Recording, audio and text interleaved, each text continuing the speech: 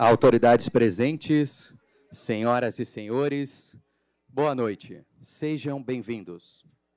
Nos termos do regimento interno do Poder Legislativo catarinense, estamos dando início a esta audiência pública requerida pela excelentíssima senhora deputada estadual Luciane Carminati, juntamente com o excelentíssimo senhor deputado estadual Marcos José de Abreu Marquito, através da Comissão de Educação e Cultura da Assembleia Legislativa do Estado. Esta audiência tem por objetivo debater sobre o setor do audiovisual catarinense, atendendo ao pedido do Fórum Setorial Estadual de Audiovisual, assim como de diversos coletivos e entidades do setor. Esta audiência visa reunir autoridades, entidades representativas, agentes culturais, captadores e pesquisadores para discutir o andamento e melhorias. Em destaque, o Prêmio Catarinense de Cinema, Lei Estadual número 15.746/2012, e outras políticas públicas para o audiovisual em Santa Catarina, incluindo as iniciativas com recursos federais, principalmente em relação à autuação e condução da Fundação Catarinense de Cultura, que tem como missão valorizar a cultura por meio de ações que estimulem, promovam e preservem a memória e a produção artística catarinense. Para compor a mesa de autoridades, convidamos a excelentíssima senhora presidente da Comissão de Educação e Cultura da Assembleia Legislativa do Estado de Santa Catarina, deputada Luciane Carminati.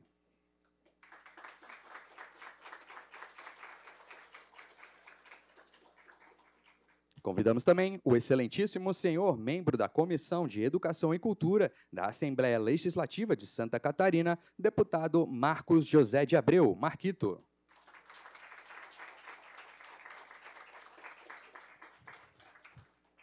Convidamos o senhor presidente do Conselho Estadual de Cultura, Luiz Newton Correia.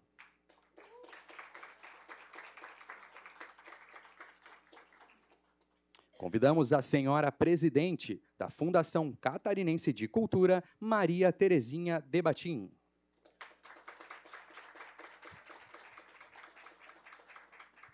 E convidamos também a senhora conselheira da cadeira audiovisual, Carolina Borges.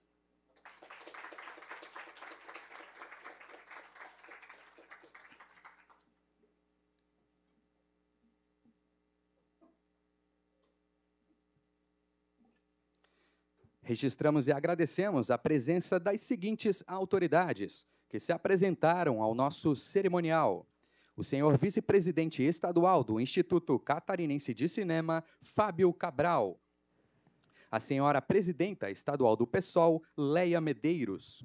O senhor conselheiro da Associação de Profissionais do Audiovisual Negro da Região Sul, APAN, Gabriel Borges a senhora representante do Fórum dos Festivais, Marília Nakari.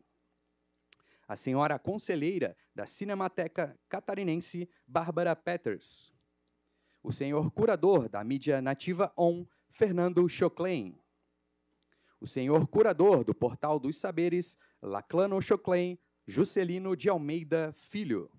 A senhora presidente do Sindicato da Indústria Audiovisual de Santa Catarina, Aline Belli a senhora Cíntia Domitbar, Domitbitar, representando o Conselho Superior do Cinema. O senhor Luke Yemonjá Bank, representando a Associação dos Profissionais Trans do Audiovisual.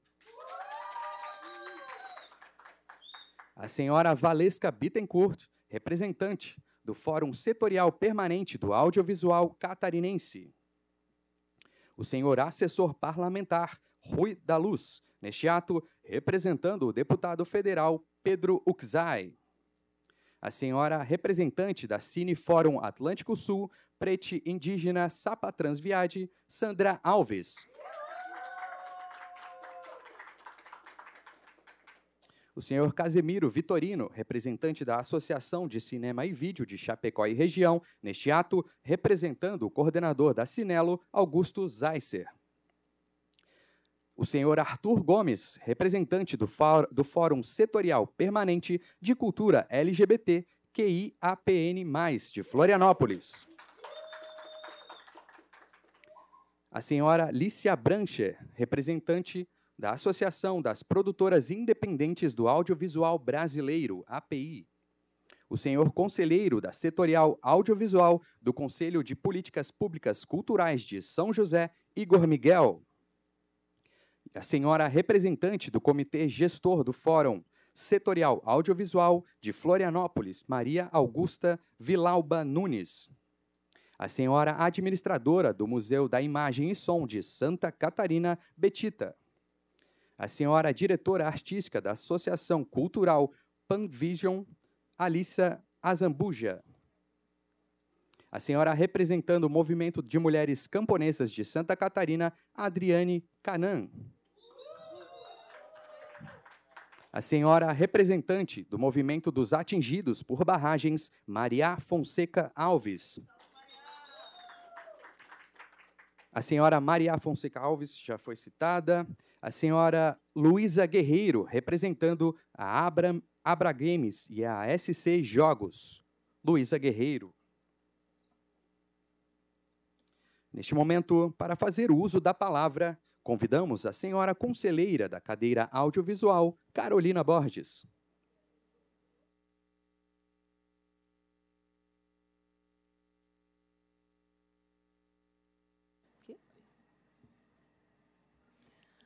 Boa noite a todas, todes e todos.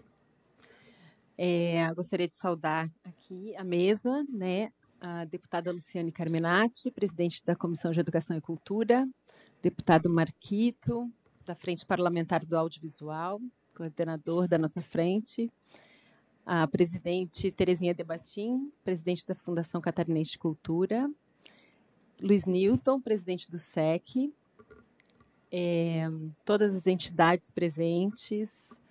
E agradecer né, a presença nesse dia de chuva e as entidades realmente compareceram em peso e é isso, estamos aqui mesmo para isso, né? Para comparecer quando temos uma oportunidade como essa, uma audiência pública para o audiovisual. É nosso papel estarmos todos aqui presentes em peso. Queria agradecer a essa casa, a LESC, né, por nos receber em audiência pública, por proposição dos deputados Luciano Carminati e Marquito, Agradecer também a presença do MIS, no Museu da Imagem do Som, e sua equipe, que está aqui presente também conosco. Agradecer as equipes dos gabinetes, que principalmente a Manu Weber e o Guto Lima, que nos ajudaram a organizar toda é, essa audiência, as falas, a presença de todas as entidades. Bem, é, eu gostaria de falar rapidamente sobre a nossa pesquisa, pesquisa que nós tivemos é, em 2022, que é a um, pesquisa sobre o mapeamento e estudo do setor audiovisual catarinense. É, essa pesquisa é muito importante para nosso setor porque a gente tem tido essa dificuldade, né, aqui em relação ao setor cultural e ao setor audiovisual também, que é a ausência de indicadores. E eu gostaria de citar alguns aspectos assim positivos e negativos, né, que essa pesquisa trouxe para gente. E entre elas, uma das coisas que a pesquisa falava é que na ausência desses indicadores era muito importante um diálogo que havia que vinha sendo construído, um diálogo que estava bastante consolidado entre o setor audiovisual e a Fundação Catarinense de Cultura. É, esse diálogo nos permitiu, nos últimos anos, debater amplamente as diretrizes do Prêmio Catarinense de Cinema, né, que é uma das principais razões da nossa audiência pública. Então, é, na falta de desses indicadores, esse diálogo era muito importante para o entendimento né, das necessidades do setor é, outra questão super importante também foi a partir de 2018 a participação do SEC também, né, ouvindo e ampliando a discussão com todo o setor e trazendo também fortemente a questão da regionalização e da descentralização. E também, e principalmente, o crescimento desse setor, que naquele momento, em 2022, a gente tinha indicadores de que nos, naqueles últimos 10 anos o setor tinha crescido 429%. É, é importante a gente falar sobre isso num ano que a gente está novamente falando num aporte do é, Fundo Setorial do Audiovisual, que pode chegar a 30 milhões aqui em Santa Catarina, o valor total do edital, né? E é muito importante a gente falar sobre isso, porque a gente ainda não tem na Fundação Catarinense de Cultura um setor é, especializado para tratar somente do audiovisual. Então, a gente tem a equipe do MIS e que se divide né, entre várias tarefas, desde a a, o entendimento do setor audiovisual, a formatação das políticas do edital e também a gestão do MIS. Então, realmente é bastante coisa e a gente entende que é, isso não está compatível com o tamanho desse setor e o quanto esse setor tem crescido. Então, muito importante a gente estar tá aqui reunidos justamente para falar né, sobre a pujança desse setor, que tem trazido prêmios importantes para o Estado. Tenho certeza que meus colegas vão falar sobre isso. É, e a gente acompanhar também essa evolução e esse crescimento né, do setor audiovisual. É, em linhas gerais, era isso que eu queria né, assim trazer como fala de abertura, mas também de outras questões importantes para o nosso setor que a gente precisa discutir, como por exemplo a lei estadual da Film Commission, que né, teve o seu pontapé inicial, mas hoje está paralisada. O fato de que uh, o nosso Prêmio Catarinense de Cinema, a gente tem a lei de 2012, mas é uma lei muito sucinta, não tem um decreto que a regulamente, né? Então a gente todos os anos precisa realmente desse debate, enquanto isso não acontece. Não que o debate tenha que deixar de existir, mas é importante, nos daria mais segurança se essa lei tivesse é, o seu decreto de regulamentação, né? E a gente tem falado também do PL do sistema é, do, do audiovisual, que é importante para complementar o sistema estadual de cultura.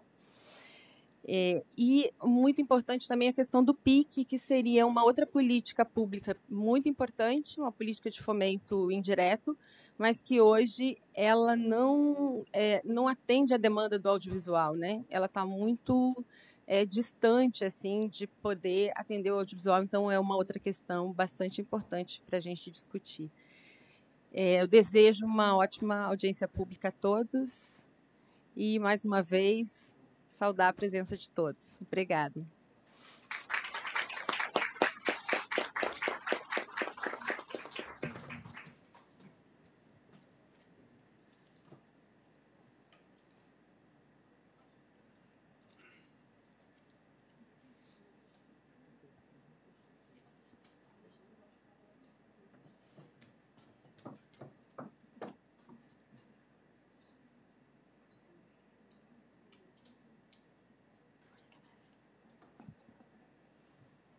E neste momento, para dar continuidade a esta audiência pública, convidamos também para fazer uma breve é, explanação sobre o uso da palavra a senhora presidente da Fundação Catarinense de Cultura, Maria Terezinha Debatim.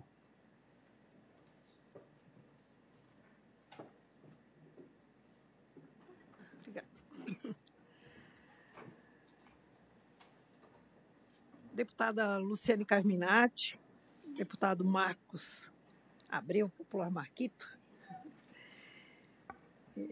Luiz Nilton Correia, nosso colega, presidente do conselho, e a Carol Borges, aqui na mesa.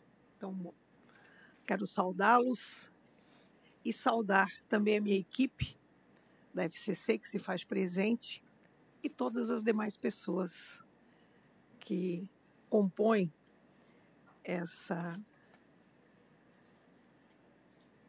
esse movimento de hoje à noite. Vou fazer um breve relato aqui né, sobre o que a Fundação vem fazendo. Né? Acho que a maioria dos senhores sabe que eu estou de novo no cargo há menos de dois meses. Né? E a gente entende que tem algumas coisas que já os preocupa, que é 2025, né? Mas é, quando se tem uma panela no fogão, a gente precisa garantir que aquela panela no presente não queima. Então, estou fazendo isso no momento. Né? Mas eu acho que a gente tem números bons. É claro que eu vou dizer aqui aos senhores deputados que, na minha última passagem pela FCC, a gente contava não só com a colaboração do Estado, mas também com a Cine, né, que vinha fazendo uma participação. E foi uma boa briga nossa, porque é, diferente de outros estados, principalmente o Nordeste, onde eu tinha amigos que trabalhavam também na, na área, é, Santa Catarina colocava um real e ganhava Dancini 50 centavos, enquanto que o Nordeste colocava um real e ganhava 2,50. Então foi uma briga dos estados de Santa Catarina, Paraná, Rio Grande do Sul, Espírito Santo e Minas Gerais, que há uma composição, entendendo que esses cinco estados devem ter uma certa parcela e um certo olhar né, na hora de receber valores. Então a gente fez uma boa briga e graças a Deus conseguimos pelo menos equiparar. E para minha, minha surpresa, quando eu volto para casa, né, eu percebo que nós estamos de novo sozinhos para fazer esse prêmio de cinema. Então a gente precisa fazer essa briga boa de buscar novamente, né? Mas vamos lá. Em 2024, a Fundação Catarinense Cultura é, lançou o Prêmio Catarinense, né, que já existe, claro, desde 2001, nesse ano com um prêmio de 8 milhões e 30 mil. Sendo estes com 34 projetos inscritos nas modalidades de produção, que inclui longa-metragem, curta-metragem, obra seriada e curta-metragem, infanto-juvenil e de difusão voltada a festivais de cinema e cineclubes. A, a, nossa previsão é que esse resultado seja divulgado até dia 10 de dezembro de 2024. Em 2023, o prêmio fez parte dos editais lançados dentro da Lei Gustavo, é Paulo Gustavo em Santa Catarina. Foram 167 projetos contemplados em 22 categorias, no valor de R$ 38.795.932. Desde o último dia 30 de outubro, a FCC está recebendo e-mails com sugestões para a edição de 2025 do edital Prêmio Catarinense. Essas sugestões devem ser enviadas até o dia 8 de novembro, próxima sexta-feira, para o e-mail do MIS, né? mis.fcc.sc.gov.br. Em 2023, além do Prêmio Catarinense de Cinema, teve a edição especial Lei Paulo Gustavo. A FCC lançou ainda outros três editais voltados ao setor de audiovisual catarinense, num total de 44 milhões investido na cadeia produtiva. Prêmio de exibição FCC, RNCP, com o prêmio de, premiou 65 obras audiovisuais catarinenses para a realização de sessão não onerosa dos direitos de exibição para as emissoras integrantes da Rede Nacional de Comunicação Pública, suas transmissoras e suas plataformas de vídeo sob demanda.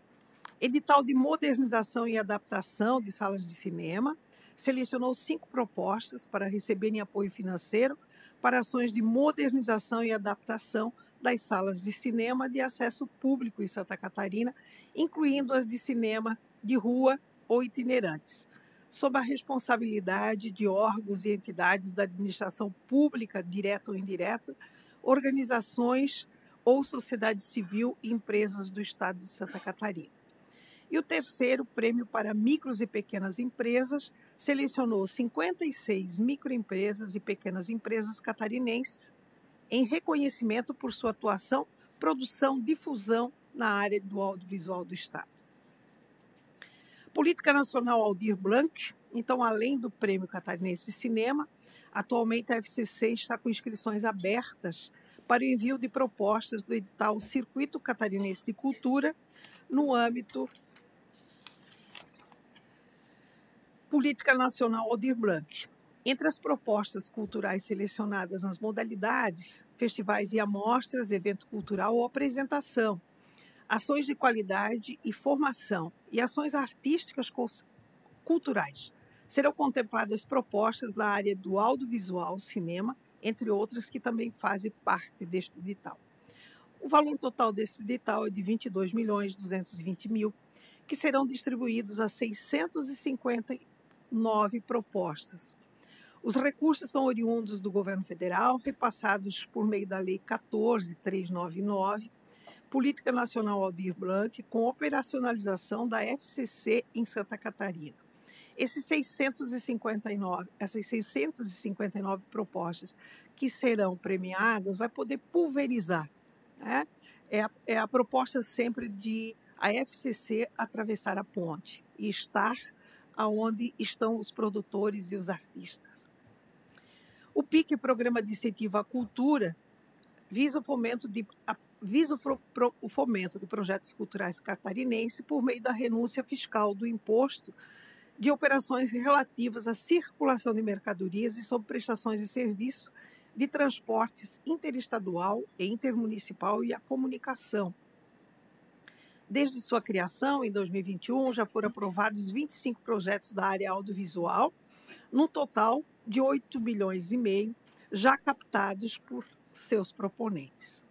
São projetos de séries longas-metragem, mostra de cinema, materiais para o meio virtual, desenvolvimento de roteiro, entre outras iniciativas que ajudam a fomentar a cadeia do audiovisual do Estado. Como disse a nossa colega, né, o MIS, que hoje cuida do audiovisual, ele não faz só isso, né? ele cuida de um todo. Então, somente este ano o museu foi responsável é, pela captação de 12 exposições para o espaço expositivo, até o mês de setembro de 2024. Todas as amostras foram com entrada gratuita ao museu localizado no Centro Integrado de Cultura, visando né, a, a, a, expansão né, e a informação do meio audiovisual visual para os seus visitantes. Essas exposições atraíram público aproximado de 11 milhões e 200 mil pessoas, de acordo com os registros livres de visitante. Este ano também o MIS lançou a ação cultural Pontos do MIS, uma proposta de regionalização que prevê parcerias com municípios para disponibilização de material audiovisual, oficinas e capacitações. A partir, é, a partir do preenchimento de formulário e envio de dados. Os municípios recebem, então, uma pontuação para serem um ponto do MIS e, a partir disso, receberem atividades culturais. Na primeira avaliação, 47 municípios foram validados para ser um ponto do MIS Santa Catarina. O museu reformou também este ano uma sala multimídia com capacidade para 82 pessoas e teve mais um espaço expositivo localizado ao lado da sua sala. É, e esse novo espaço é, na verdade, é, visa criar um projeto para 2025 chamado primeiro palco. A gente sabe que muita gente não tem ainda um público para buscar bilheteria e nem um público para encher uma sala de cinema de 250 lugares ou 900 lugares no SIC. É, quando se coloca 80 pessoas nesse espaço, ele está vazio. Mas se a gente coloca 80 pessoas no espaço que cabe 92, ele está cheio. O também é responsável pela agenda cultural do cinema Gilberto Gerlach, que em 2024 teve 96 eventos que reuniram mais de 7 mil pessoas até setembro. Ainda no mês de novembro vai começar a reforma da sala de cinema Gilberto é, em parceria com a assessoria de comunicação da FCC. O MIS tem em seu acervo de Vinícius apresentado semanalmente à sociedade por meio do programa de, de rádio Me Escuta, exibido pela Rádio Desk e FM de Florianópolis, e disponibilizado também no, salto, no site cultura.sc.gov.br, com a agenda cultural dos espaços administrados pela FCC e a trilha sonora de discos, de discos que fazem parte do acervo de Vinícius e do museu. O programa está em, suas, em seu sétimo ano e já teve 370 edições produzidas pela Assessoria de Comunicação, que neste ano já foram 43 edições. Então, essa é apenas uma explanação do que o MIS é, vem fazendo. E quero dizer para os senhores que não por acaso a gente nasce com dois ouvidos. Então, estou aqui para ouvi-los. Muito obrigada. Muito obrigado, senhora Maria Terezinha. Neste momento, para a abertura também, para fazer uso da palavra, convidamos o senhor presidente do Conselho Estadual de Cultura, Luiz Newton Correia. Muito obrigado. É uma satisfação enorme estar aqui hoje, né? Pelo, agradeço pelo convite. Queria cumprimentar a senhora deputada Luciane Caminati, o senhor deputado Marquito, presidente da Fundação Catarinense Cultura, Maria Terezinha Debatim, e a minha colega conselheira Carolina, que tem lutado muito no conselho. Ela tem sido uma representante ferrenha sobre os assuntos ligados ao audiovisual, não é à toa que está aqui hoje. Tá? E ela tem feito esse papel, desempenhado esse papel de forma considerável, muito, muito importante e, e muito incisivo nas reuniões do Conselho Estadual de Cultura. Então, é, elogio a vossa representante no Conselho e é, lembro, ah, estavam lendo, por exemplo, ah, as autoridades aqui presentes, contei mais ou menos 65 pessoas dentro dessa sala, mas com a representatividade que vocês possuem, provavelmente temos aqui sendo representado mais de mil pessoas, com todas as entidades de todas as regiões do Estado. É, viemos aqui para ouvir, ouvi-los, né? Eu acho que quem tem feito um papel magnífico em representá-los e repassar as nossas demandas para o Conselho é a Carolina. Então, estarei aqui mais como espectador, acompanhando todo o processo, como presidente do Conselho Estadual de Cultura, depois repassando e autorizando a, a Carolina a repassar tudo dentro da, da plenária do Conselho. Eu agradeço.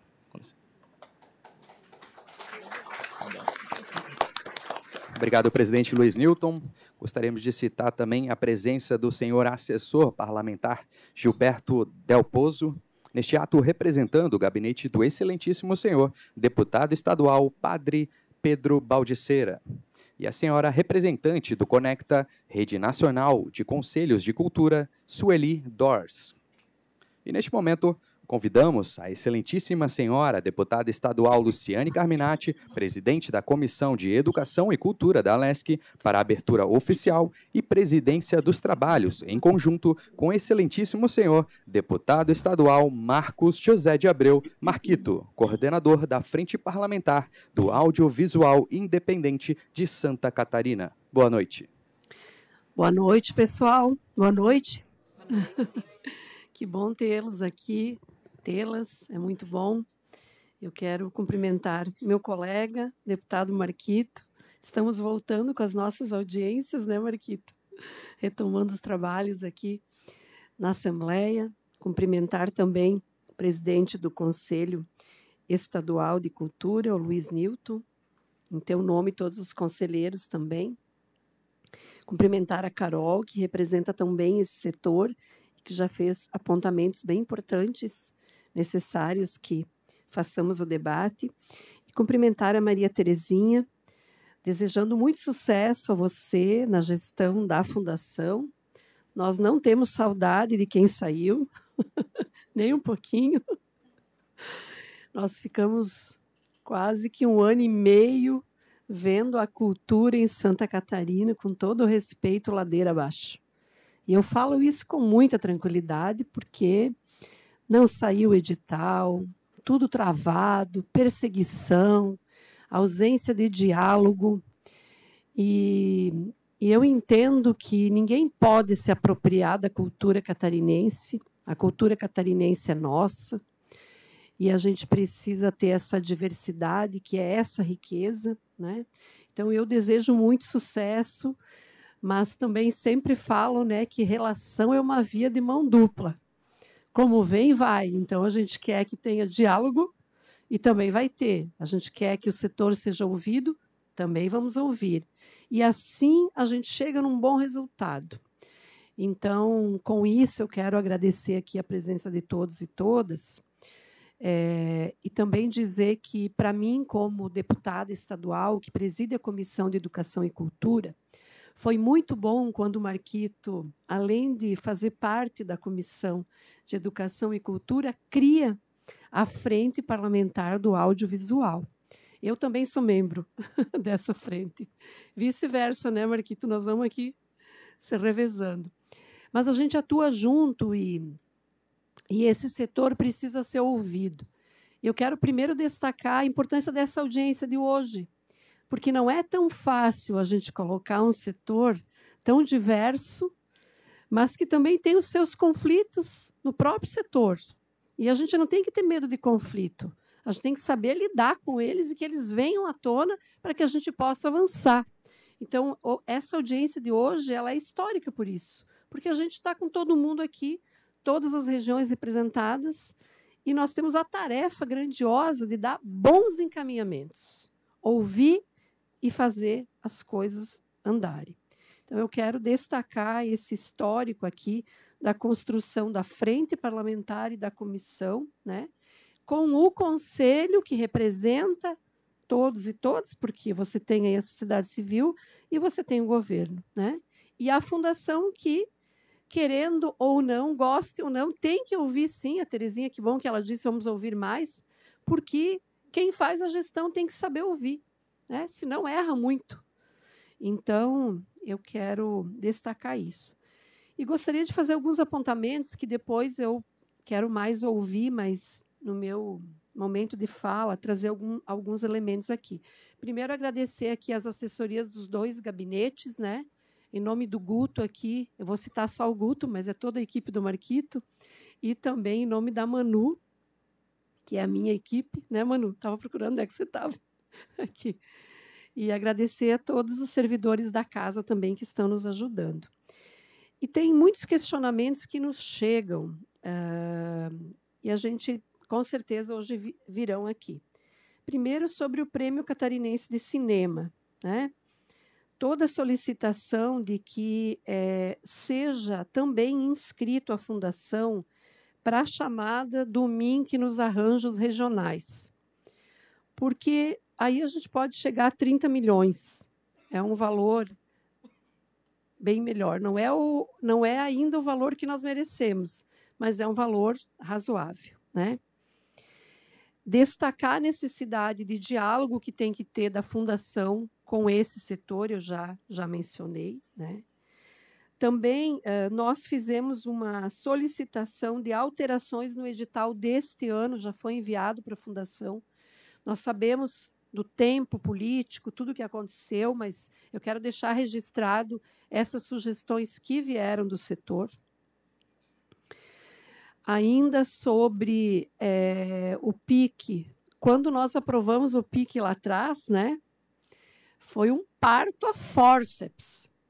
E a gente sabia desde o início que ajustes precisavam ser feitos. E eles não foram feitos. Nós temos um tempo de validade do PIC que a gente precisa corrigir essas coisas.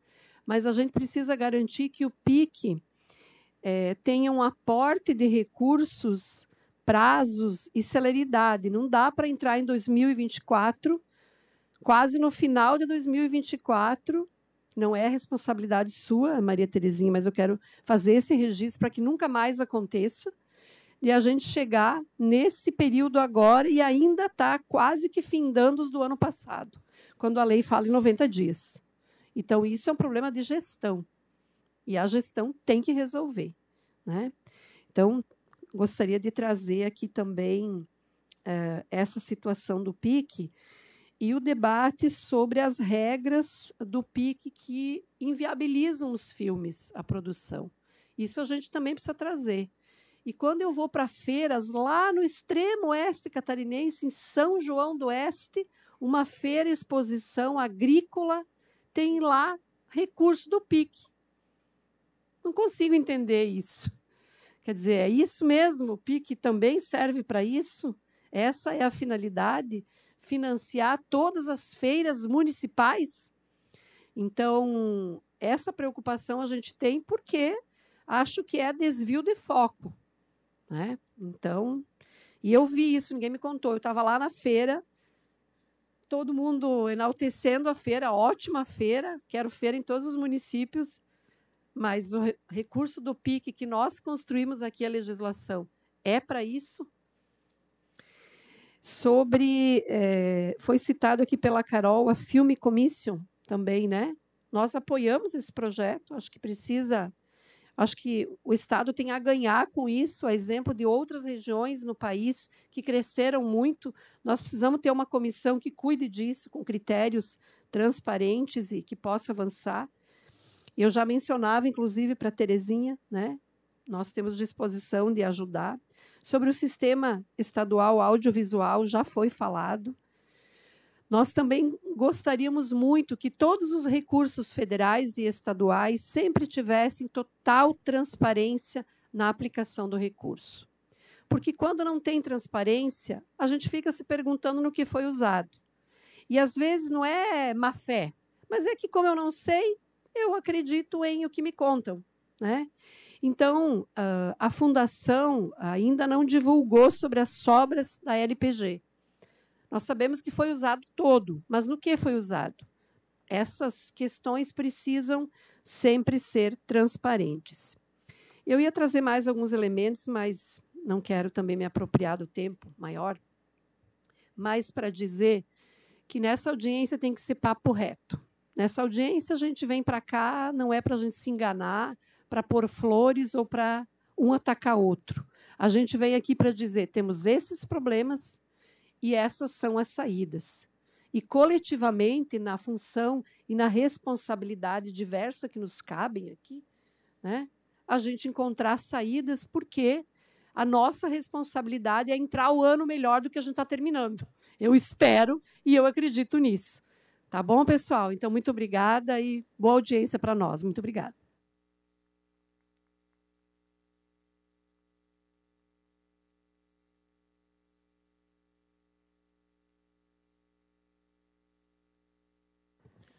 Tá, boa noite, pessoal.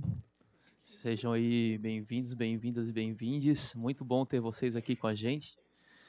Quero aqui fazer um cumprimento geral à mesa, não vou me alongar demais. A gente está aqui também para ouvir as mais de 20 pré-inscrições que já temos aqui estabelecidas, mas eu quero também reforçar as palavras da deputada Luciane Carminati, desejar uma boa gestão, porque Santa Catarina merece uma gestão que olhe para as pluralidades, as diversidades e garanta o mínimo e o básico para que isso aconteça no nosso estado, principalmente na cultura. Né? Então, é, parabenizar também a, a, a, presença aqui da equipe técnica da Fundação Catarinense Cultura, agradecer imensamente ao Guto e a Manu por estar tá ajudando a coordenar e estar tá também ajudando nesse trabalho em relação à frente parlamentar de, do audiovisual independente de Santa Catarina é uma inovação, uma frente parlamentar como essa, que dialoga com a Comissão Permanente de Educação e Cultura,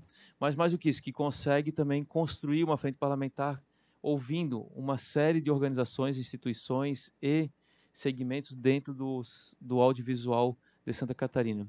É, a gente sabe que o investimento no audiovisual ele tem um retorno que se multiplica por 4, por 5 e por 6 para a sociedade do ponto de vista financeiro, mas mais do que isso, é um instrumento de construção de narrativas sobre contar histórias e apresentar narrativas para a sociedade e construir o presente e o futuro.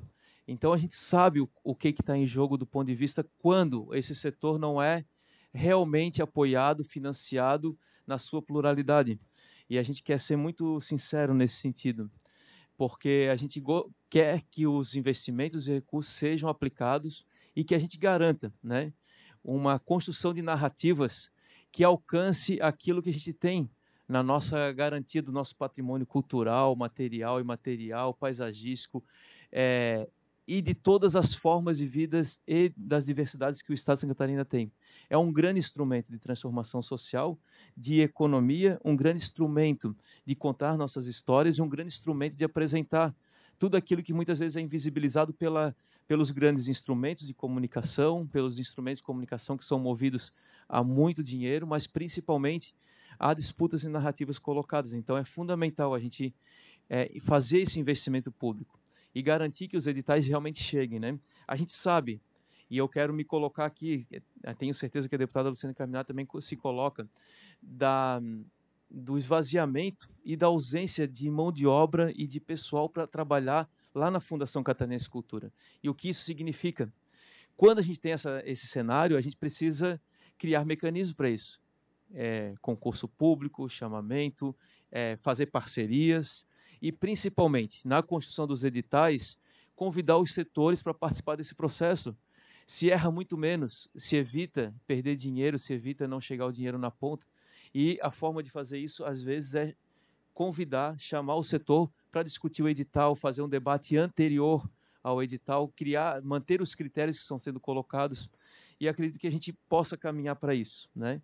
Tenho certeza absoluta que a gente está aqui acreditando nessa, nessa audiência pública como instrumento para dar um passo à frente ou passos à frente. Né? Então, quero me colocar também inteiramente à disposição. A nossa frente parlamentar também está à disposição para fazer esse diálogo, inclusive como instrumento para melhorar os procedimentos dos editais e a gente errar menos e o dinheiro chegar na ponta mais rapidamente. Então, me coloco aqui à disposição e vamos abrir para as pessoas que fizeram as inscrições prévias. Muito obrigado.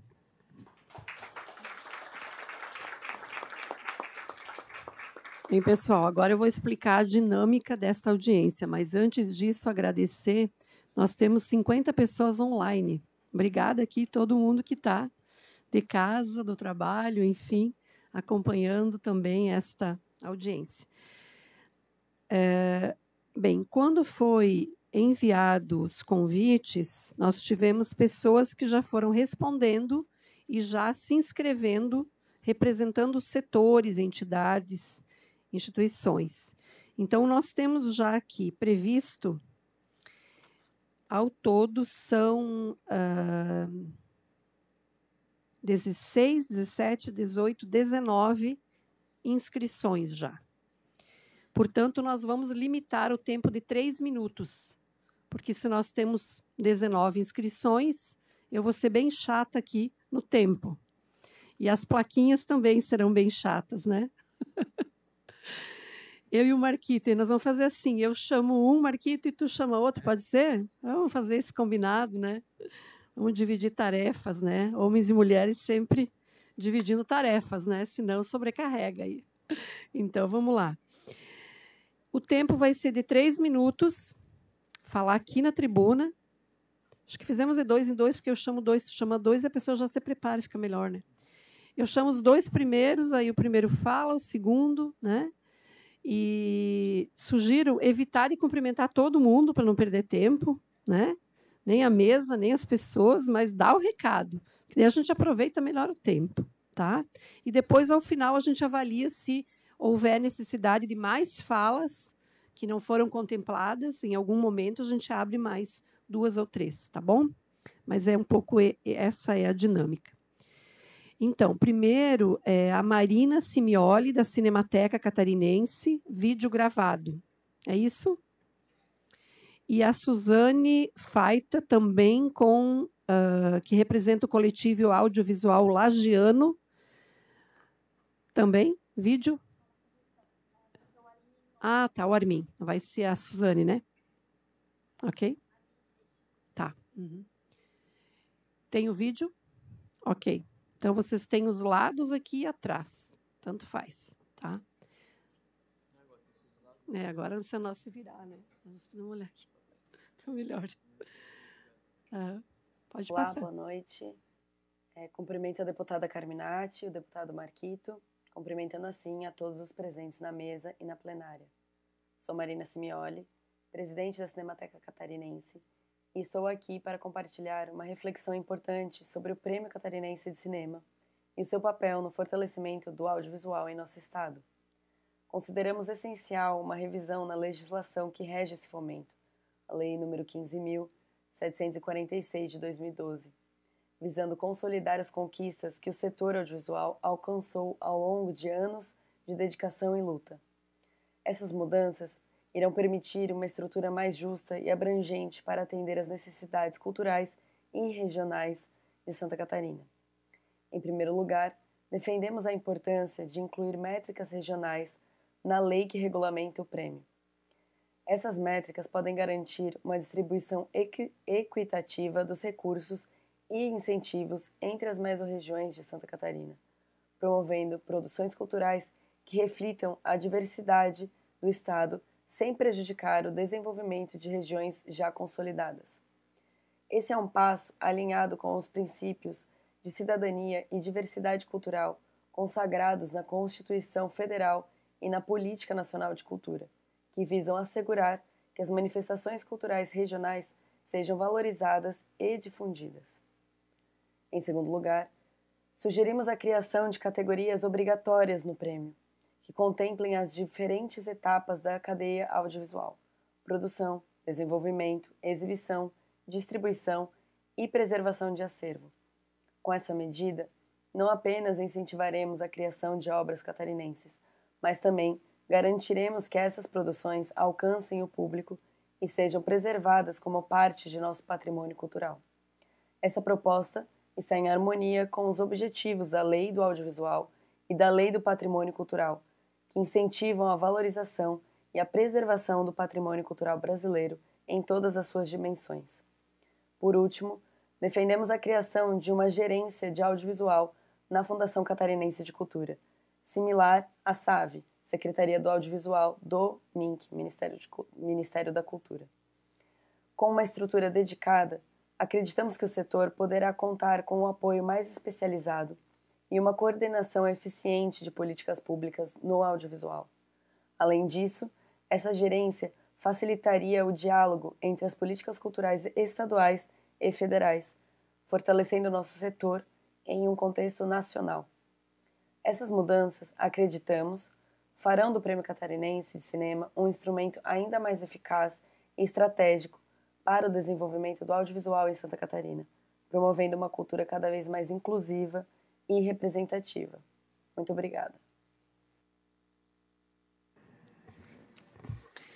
Então, a Marina deixou seu recado agora.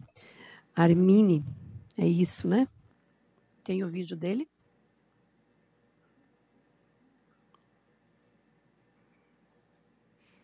Boa noite, eu sou o Armin Reichert, eu sou membro do CAL, Coletivo Audiovisual Lagiano, e o que vou estar passando aqui não vai ser uma fala minha, mas sim vou estar fazendo a leitura de uma carta que foi feita de forma coletiva. Boa noite a todas as autoridades presentes, a presidente da FCC Maria Terezinha, as demais entidades do audiovisual catarinense, aos representantes do SEC, em especial a nossa conselheira do audiovisual, Carolina Borges. O coletivo audiovisual lagiano é um grupo não formal, sem hierarquias, que vem desempenhando um papel de destaque na produção, difusão e capacitação do setor audiovisual na região serrana. Além de produções, oficinas, cineclubes, o CAL também é organizador do maior festival de cinema da região, o Curta Lages, hoje com sete edições. Referente ao Prêmio Catarinense de Cinema, estamos alinhados com todas as demandas das instituições presentes, referentes à descentralização, à manutenção e ampliação de categorias como o desenvolvimento e curta-metragem, a participação de pessoas físicas, além da volta de indutores para proponentes LGBTQIA+, e mulheres. Pedimos também a volta do sistema de cotas para todas as mesorregiões do interior, uma conquista da união de todo o setor audiovisual. Pedimos a atenção da presidência da FCC para o fato de sermos um estado tão diverso e plural, com uma grande quantidade de filmes produzidos, além de diversos festivais de cinema em todas as regiões. O que nos preocupa quando o Prêmio Catarinense de Cinema traz um valor considerável para festivais, sendo dividido em apenas dois prêmios. Somos muito mais em número e em diversidade.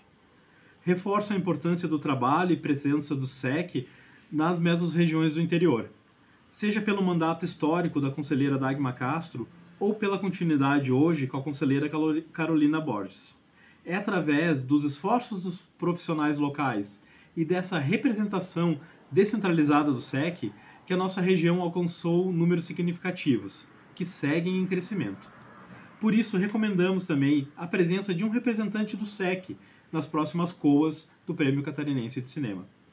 Agradeço a atenção e reforço aqui nossos votos de confiança e admiração por aqueles que estão presentes. Carta do Coletivo Audiovisual Lagiano. Obrigado. Vou chamar agora a Valesca Bittencourt, que representa o Fórum Setorial Permanente Audiovisual Catarinense, e daí já prepara também a Gabriela Borges da PAN, Associação de Profissionais do Audiovisual Negro. Gabriel. Gabriel. Tá bom. Desculpa. Oi, gente, boa noite a todos. Vou saudar a mesa geral e a todos os profissionais do audiovisual aqui presentes. E, bom, essa audiência é uma, é uma demanda legítima do setor. A gente trouxe esse pedido né, na última reunião, na última assembleia do fórum, que aconteceu no FAM. E uh, a gente, o Fórum Setorial Permanente do Audiovisual representa quase 500 profissionais, que são desde empresários, técnicos, criativos, e todos comprometidos com a construção de um setor audiovisual forte e inclusivo. O audiovisual em Santa Catarina é um elo essencial entre cultura, economia e turismo, movimentando a economia local e promovendo a cultura catarinense. Apoiar o audiovisual significa, na prática, incentivar um patrimônio imaterial que gera identidade e riqueza para o Estado. O fomento audiovisual é também uma ferramenta para corrigir assimetrias econômicas, valorizando e preservando a nossa diversidade cultural. A, vida, a vitalidade do setor está diretamente ligada ao amadurecimento das políticas culturais. Santa Catarina, em especial, vem fortalecendo seu audiovisual nos últimos anos. O diálogo entre o governo estadual, entidades e instâncias nacionais cresceu, o que também ajudou a expandir o número de produtoras, cursos universitários na área, formando profissionais com excelente capacitação. O Prêmio Catarinense de Cinema é fundamental para o setor, mas o edital deste ano trouxe mudanças inesperadas que afetaram o equilíbrio e a diversidade de participação. Observamos a exclusão de categorias importantes, como as de desenvolvimento, de indutores para mulheres, LGBTQIAPN+, além de alterações nas categorias de curtas, refletindo um distanciamento das necessidades do setor. Portanto, uma das nossas principais reivindicações a curto prazo e urgente é a necessidade de uma gerência de audiovisual dentro do MIS, que tenha a compreensão dessas especificidades, como né, já foi falado aqui. Então, é, o decreto de 1998, que criou o MIS, o Museu da Imagem e do Som, estabelecia que esse ficaria sob a gerência de cinema e vídeo, que agora não existe mais. É necessária uma revisão da Lei 12.241, que estabelece o edital, a fim de adaptá-la às necessidades da sociedade, e que esteja previsto em lei a consulta pública ao SEC e à sociedade civil, e também que seja feita a alteração do nome para Prêmio Celso dos Santos.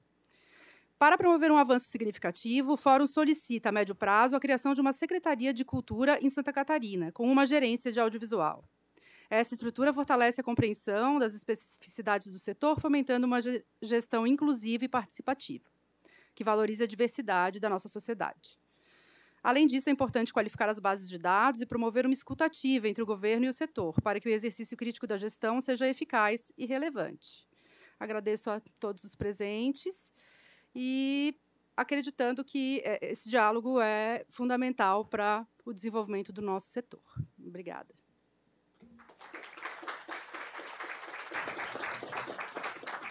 Agora o Gabriel.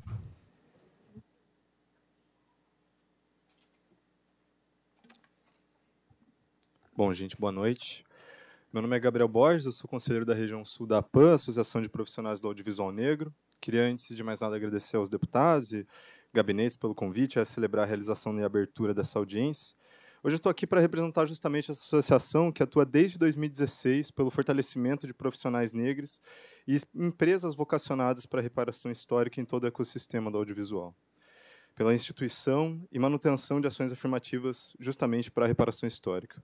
Por isso, eu destaco a importância dessa audiência para nós, a partir da, da capilaridade, da possibilidade de impacto do Prêmio Catarinense de Cinema, para o fomento e estímulo à produção de obras e a regimentação do cinema catarinense e da economia na área.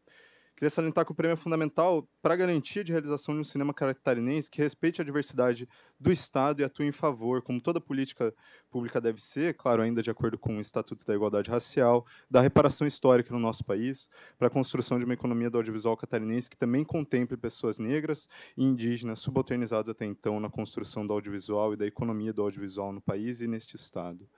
A gente celebra, claro, iniciativas já aplicadas em outras edições do Fórum por incluir ações afirmativas no edital, mas a gente salienta a necessidade de expansão, manutenção e criação de uma política estruturante que garanta não só a inclusão de cotas, como também ações afirmativas na sua variedade de possibilidades.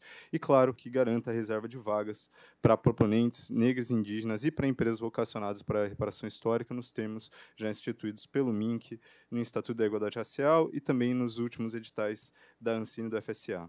Destaco aqui a necessidade da criação de um projeto de lei que garanta e institua ações afirmativas nos editais de cultura do Estado de Santa Catarina e a revisão do projeto de lei do Prêmio Catarinense de Cinema, de maneira a justamente garantir a regulamentação do prêmio e a inclusão por lei da reserva de vagas e de outras adições afirmativas obrigatórias no edital. Novamente, seguindo o exemplo da legislação federal. Salientar que é fundamental a regimentação em leis, mas também salientamos a necessidade de uma estruturação dessa política pública afirmativa, pensada justamente enquanto política pública, sendo necessária a construção coletiva em diálogo com a sociedade civil e também a produção e análise de dados sobre as produções e empresas produtoras do Estado, não no sentido de vigilância, mas sim no sentido de uma construção de política pública efetiva, como no caso do mapeamento, que é fundamental. Assim, a gente também destaca a necessidade de criação de mais espaços de diálogo e construção amplos, abertos e transparentes com a Fundação Catarinense de Cinema, com a garantia de espaços de escuta efetivos para o audiovisual negro de populações vulnerabilizadas, tanto por expansão da participação do SEC nas decisões, como a expansão da participação do setor dentro do SEC, como, por exemplo, por a inclusão de uma cadeira específica que atenda melhor também as demandas desse audiovisual negro, da cultura negra e das populações vulnerabilizadas. Por fim, queria destacar a proximidade dos, dos, editais de arranjo regional e a necessidade do governo reservar os recursos para garantia do aporte, do aporte a esse incentivo federal de coparticipação, incluindo, claro, os 25% de vagas para empresas vocacionadas para reparação histórica, como tem sido feito nos editais do FSA. Para a representatividade nas telas, a gente está aqui falando e demandando participação na economia e na dinâmica econômica desse audiovisual. Obrigado, gente.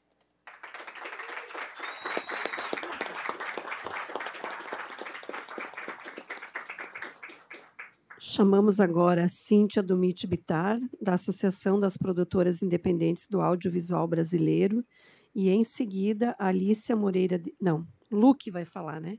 É o Luke que vai falar. É Luke, né? Estava olhando aqui. É o Luke que representa a Associação de Profissionais Trans do Audiovisual. Então, a Cíntia, depois o Luke.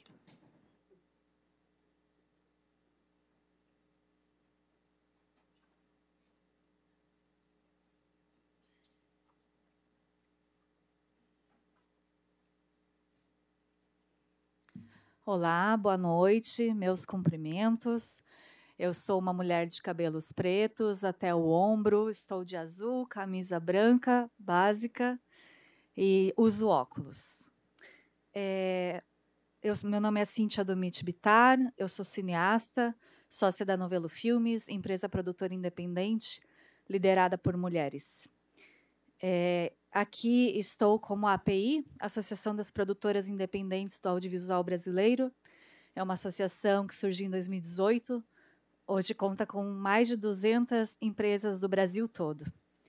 Mas também estou no CSC, que é o Conselho Superior do Cinema, junto ao MINC, num momento histórico no qual Santa Catarina, que nunca esteve nessas instâncias, hoje tem três pessoas no Conselho Superior de Cinema e também no comitê gestor do Fundo Setorial do Audiovisual.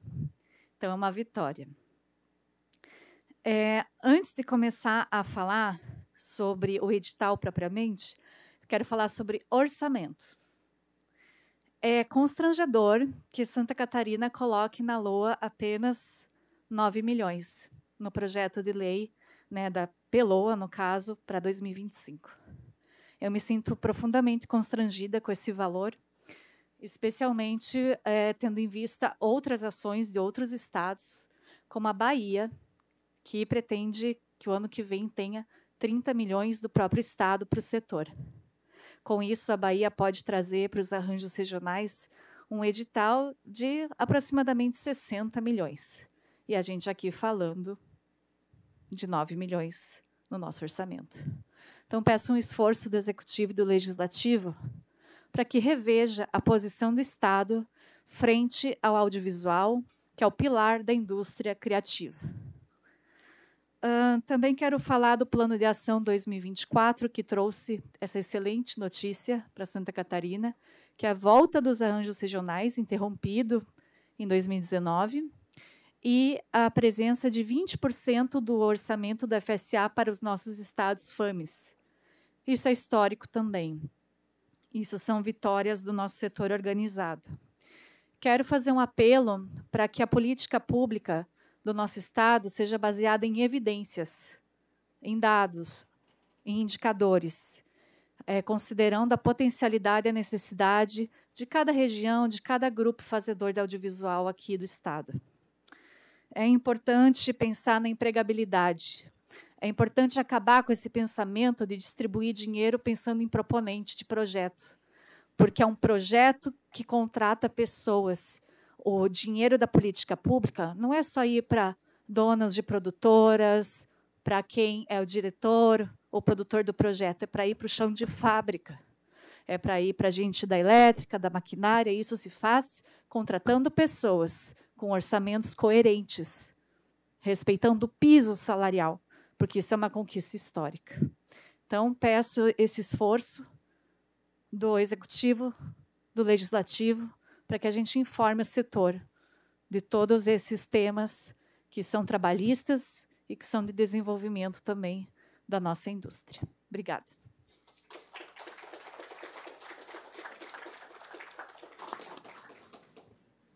O Luke pode falar já.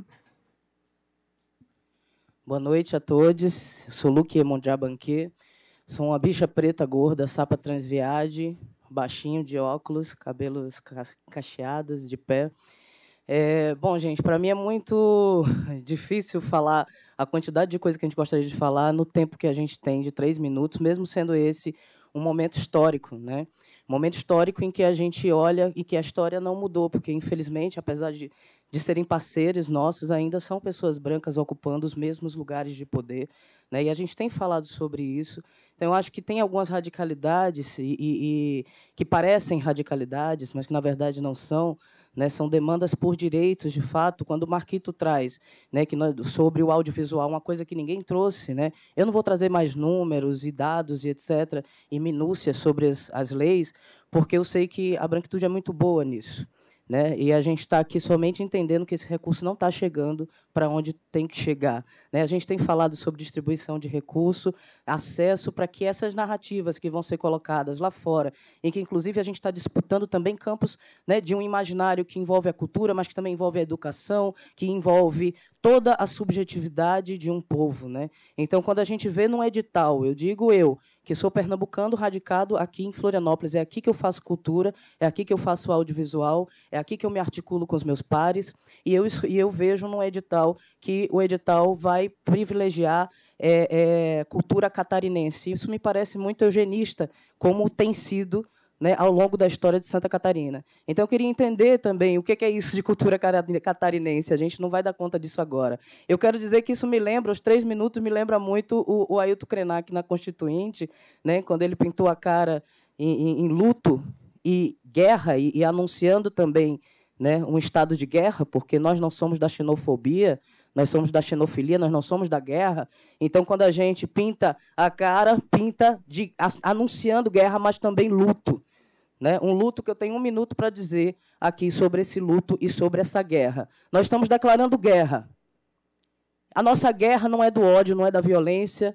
A nossa guerra é poder ter acesso à câmera na mão, recurso e trabalho. As pessoas que estão aqui hoje são pessoas, na maioria, de esquerda, puxando esse trabalho, porque as pessoas de direita estão se orgulhando de não precisar de dinheiro público. Nós precisamos, e mais do que precisamos, é nosso direito. Porque esse Estado-nação nos deve tudo. A nós, aos povos indígenas, aos povos afrodiaspóricos, nos devem tudo. Então, a gente está aqui, sim, para reivindicar acesso aos recursos, mas, antes de tudo, também para dizer que nós estamos em guerra. Eu não tenho tempo para dizer a quantidade de coisas que a gente precisaria dizer aqui. Inclusive, internamente, a dificuldade que a gente tem de articular nossas próprias demandas dentro do próprio, do, do próprio setor. Então, eu não tenho tempo de fala, mas eu vim dizer e declarar guerra em Santa Catarina, uma guerra, sim, afetuosa, criativa, porque nós somos da arte, nós somos da alegria, mas nós não vamos recuar nem um passo, não vamos titubear. A gente está aqui para continuar, isso é só o começo. E eu quero dizer também, já que a Terezinha trouxe os ouvidos e os demais é, é, é, deputados e nossa conselheira parceira, sempre também, Carol, a gente não vai mais terceirizar a nossa luta. A gente precisa de representação ativa em todos os espaços. A gente precisa ser ouvido também atrás das mesas, né, com um tempo mais tranquilo de fala, podendo articular melhor nossas demandas. E eu quero dizer também que o SIC, Terezinha, é do povo, ele precisa voltar para o povo. Obrigada.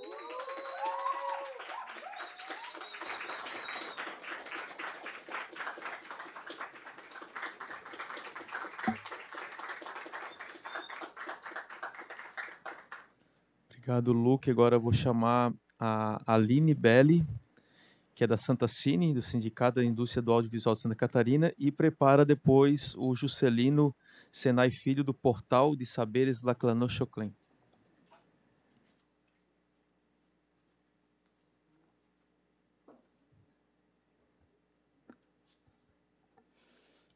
Olá, boa noite. Soft Power não é? As narrativas que viajam aí com a nossa a cultura, desculpa, que viaja com as nossas narrativas. É isso, a gente precisa ter essa construção e fazer esse trabalho. Boa noite a todos. É, quem está aqui presente, a todos que estão em casa também nos acompanhando. Quero agradecer super esse espaço. A gente precisa desses espaços de mais troca e de construção para sermos ouvidos e, e termos é, esse momento de fala.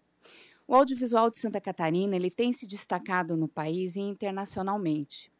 Nos últimos anos, tivemos duas obras do Estado, um longa e um curta, na corrida para o Oscar.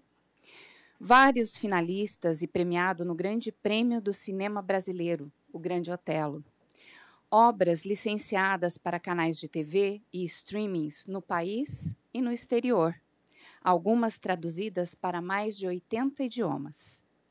Somos reconhecidos por nossos próprios festivais de cinema e também por presença em instâncias nacionais, como o Conselho Superior de Cinema, o Comitê Gestor do Fundo Setorial do Audiovisual e a Comissão Nacional de Incentivo à Cultura. E ao projetar Santa Catarina no cenário nacional e internacional, o setor também atrai investimentos para outras áreas. Um dado importante a ser compartilhado é que cerca de 60% de um orçamento de produção fica em setores transversais, como hotelaria, alimentação, têxtil, moveleiro e TI. Dentro deste contexto, o edital do Prêmio Catarinense de Cinema, o PCC, é uma ferramenta muito importante. Com a retomada dos arranjos regionais, temos possibilidade de trazer mais recursos para o nosso estado. A verba total para a região do FAMES, do qual Santa Catarina faz parte, será de 90 milhões e a solicitação por estado vai variar conforme o investimento local, tendo um teto estipulado pela SAV. A previsão para abertura das inscrições será janeiro de 2025. E para dar encaminhamento a essa movimentação do PCC com arranjos regionais, ter um foco nas políticas públicas do audiovisual, com pessoas que entendam as especificidades da área e também pelas possibilidades de coproduções entre cidades, estados e também internacional, solicitamos a criação de uma gerência do audiovisual dentro da estrutura da FCC essa gerência também pode capitanear a implementação da Film Commission, que a gente já falou aqui, né? É, para trazer mais produções a serem feitas em Santa Catarina, trabalhar a questão dos tax rebates, que são muito importantes, gerando mais negócios e exposição para o nosso Estado. Agradeço a atenção e já encerro por aqui.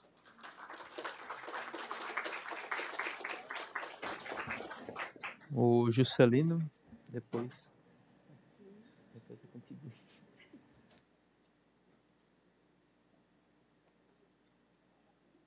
Ah, boa noite.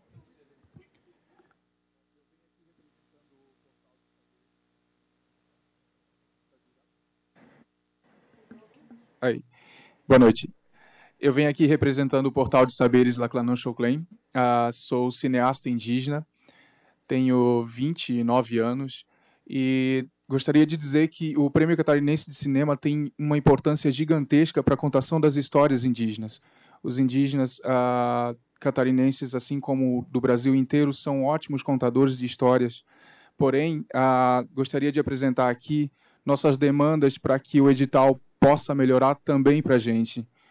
A forma burocrática como o edital vem se apresentado para os povos indígenas e para a sua representação de cotas uh, não nos proporciona a entrada uh, massiva dentro da, das regras do edital, uh, uma vez que grande parte dos povos indígenas ainda não tem acesso à forma da escrita de editais. sou um cineasta recente, agora tenho três anos como cineasta indígena, é, sou um dos primeiros a chegar aqui e a fazer parte do Fórum do Audiovisual Catarinense. É, e com muito orgulho tenho para falar para vocês que o cinema indígena catarinense tem vencido grandes prêmios nos últimos uh, anos. Uh, uma mostra disso foi uh, um dos nossos filmes, que foi o Mangualto Laclanô, que foi finalista do Prêmio Grande Otelo.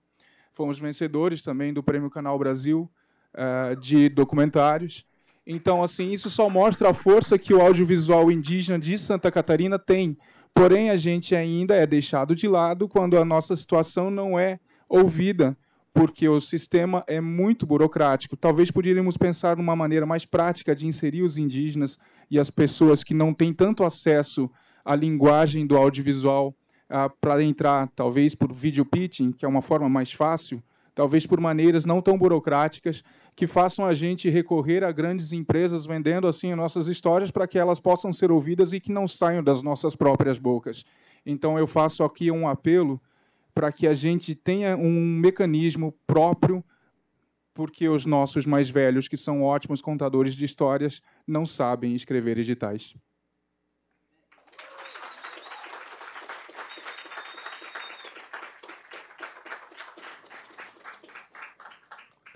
Eu chamo agora Sandra Alves, do Fórum Atlântico Sul Preta Indígena Sapa Transviada, e depois a Maria Augusta Viaba Nunes, Vilaiba Nunes, Fórum Permanente Setorial de Audiovisual de Floripa. Boa noite, gente. Agradeço a presença de todos. Buenas. Eu sou Sandra Alves, cineasta daqui dessa ilha, desse estado, desse mundo. Ano passado, o manifesto antirracista do cinema negro indígena foi ridicularizado nesta casa pela deputada Ana Campagnolo, que eu não gostaria nem de citar esse nome, que expressou uma profunda ignorância acerca da complexidade histórica e civilizatória que envolve a realidade das pessoas afrodiaspóricas, indígenas e LGBTQIAPN+. Fato este que reforça ainda mais a urgência da descentralizar o acesso aos recursos para as nossas populações possam reparar de forma qualificada a narrativa histórica deste país que se constitui de forma plural, submetida às mazelas coloniais com a criação do fórum, com a criação do Cine Fórum, é, desculpa, gente, estou um pouco nervosa. É que é um momento importante para a gente, sabe? Porque a gente nunca teve aqui. E a gente sempre foi invisibilizada. Eu faço há 30 anos cinema aqui nesse estado. Sai páginas no jornal, ninguém nos cita. Isso é insuportável. Com a criação, na verdade, eu estou aqui representando a articulação do Cine Fórum é, Atlântico Sul de pessoas negras, indígenas, sapas, transviades. É isso, gente, é tudo misturado. A gente não é binário, mas a tecnologia ancestral, sim, vem tem um binarismo muito importante para toda a tecnologia que foi desenvolvida nesse mundo. Eu vou passar dos três minutos, deputada, peço licença, tá? Então, re retomando. Com a criação do Cinefórum é, Atlântico Sul, é, Preto, Indígena, Sapa, Transviade, é, reafirmamos em ressonância com a Associação de Profissionais da, é, da Associação. É, reafirmamos, em consonância com a Associação de Profissionais do Audiovisual, Negro, a PAN, Gabriel veio aqui, muito importante a presença do, do Gabriel aqui, nosso representante sul, e com a Associação dos Profissionais Trans do Audiovisual, Rastricim, a Luke, todas a meninada junto, né, que não deixaremos mais brecha para que se pense em políticas públicas para o setor nesse Estado e nem nesse país sem a nossa participação ativa, que transcende qualquer identitarismo, qualquer identitarismo. Trata-se, portanto, de honestidade histórica e reparação de populações que constitui de forma plural a cultura brasileira. Reivindicamos nossa participação nos espaços de controle social e construção de políticas públicas por meio de um fórum organizado para as nossas pautas específicas, seja nos conselhos, nos comitês, nas frentes parlamentares, não aceitaremos representações terceirizadas que não estejam alinhadas às nossas demandas. Reforçamos também a urgência de uma legislação em Santa Catarina que garanta essa descentralização dos recursos para o audiovisual, bem como de políticas editais específicos para as produções dos audiovisuais negros, indígenas, LGBTQIAP+, evitando absurdos como a supressão dos indutores e da eugenia histórica, exemplo do que ocorreu no último edital é, do Prêmio Catarinense de Cinema deste ano, que nem mulheres e nem bicha, sapatão, nada pôde se participar. Nosso audiovisual engrandece a cultura, a educação e promove uma sociedade mais justa.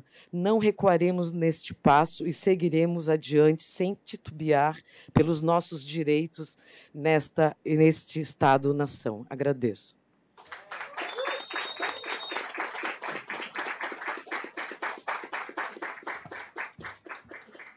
Olá, eu sou Maria Augusta Vilauba Nunes, estou representando o Fórum Setorial Audiovisual de Florianópolis. É, sou uma mulher branca, de 43 anos, seu cabelo enrolado, preso em cima da minha cabeça. Estou é, usando um casaco estampado, calça jeans de cor clara.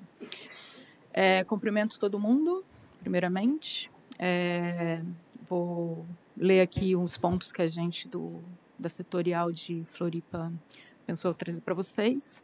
Bom, números dos relatórios da FCC atestam que Florianópolis é o município com maior demanda de recurso, tanto pela presença de empresas, profissionais, estudantes, quanto pelo volume de inscrições de projetos.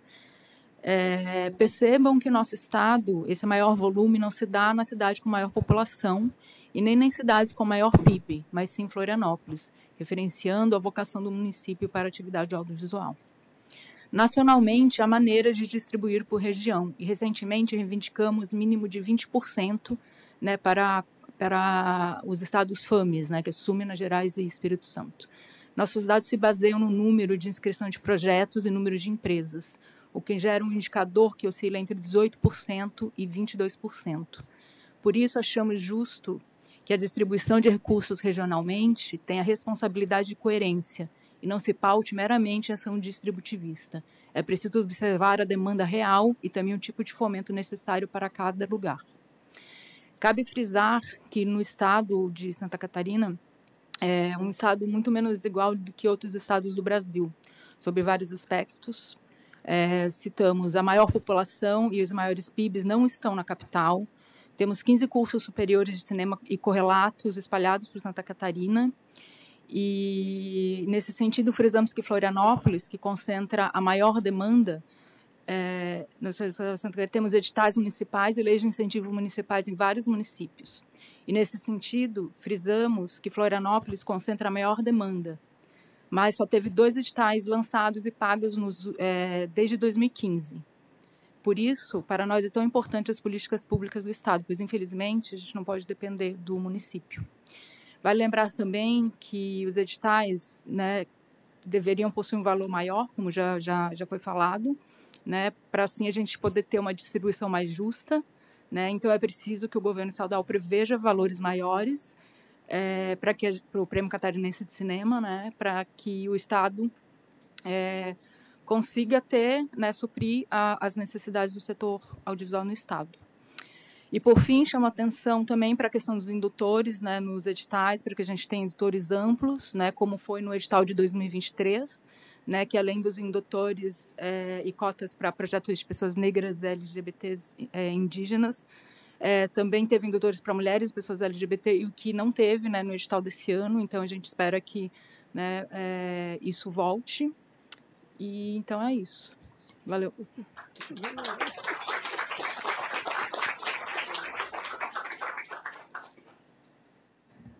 Chamar agora a Gisele Sesconeto, coordenadora do Comitê Gestor NPD Santa Catarina, Núcleo de Produção Digital. E aí também prepara a Marília Nakari do Fórum dos Festivais. Boa noite a todos. É, representando o Núcleo de Produção Digital de Santa Catarina, que é um espaço democrático, gratuito e acessível a todas as classes da sociedade dedicada à formação, produção e difusão do audiovisual. Nossa atuação está integrada aos pontos de exibição não comerciais e cineclubes em todo o estado de Santa Catarina, com o objetivo de estimular polos de desenvolvimento do setor audiovisual. As palavras são bonitas, né? esse núcleo ele representa uma política pública participativa dentro do ecossistema cultural de Santa Catarina. A gestão é coordenada pelo Instituto Federal de Santa Catarina, sediado no campus Florianópolis, e conta com a colaboração ativa e deliberativa de várias entidades importantes, como o Conselho Estadual de Cultura, o SEC, o Setorial do Audiovisual de Santa Catarina, o Fórum Setorial Permanente do Audiovisual de Florianópolis, a Cinemateca Catarinense, a Associação Brasileira de Documentaristas de Santa Catarina e o Sindicato dos Trabalhadores do Cinema e do Audiovisual de Santa Catarina, que fazem parte do comitê gestor, do qual eu coordeno. O NPD faz parte da política pública estabelecida pelo Plano Nacional de Cultura, da Lei 12.343 de 2010, que define como meta que todas as unidades da federação devem possuir ao menos um núcleo de produção digital para fomentar o audiovisual. A gente não chegou nem na metade disso. Já era para ter sido concluído, né? Essa meta.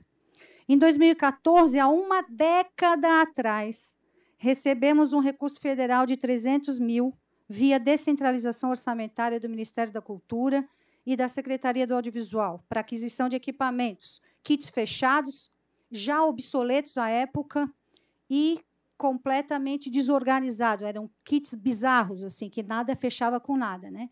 Mais, mais do que esse valor, o IFSC já, já colocou de contrapartida para poder transformar esses kits da antiga gestão do MIC em algo é, adequado.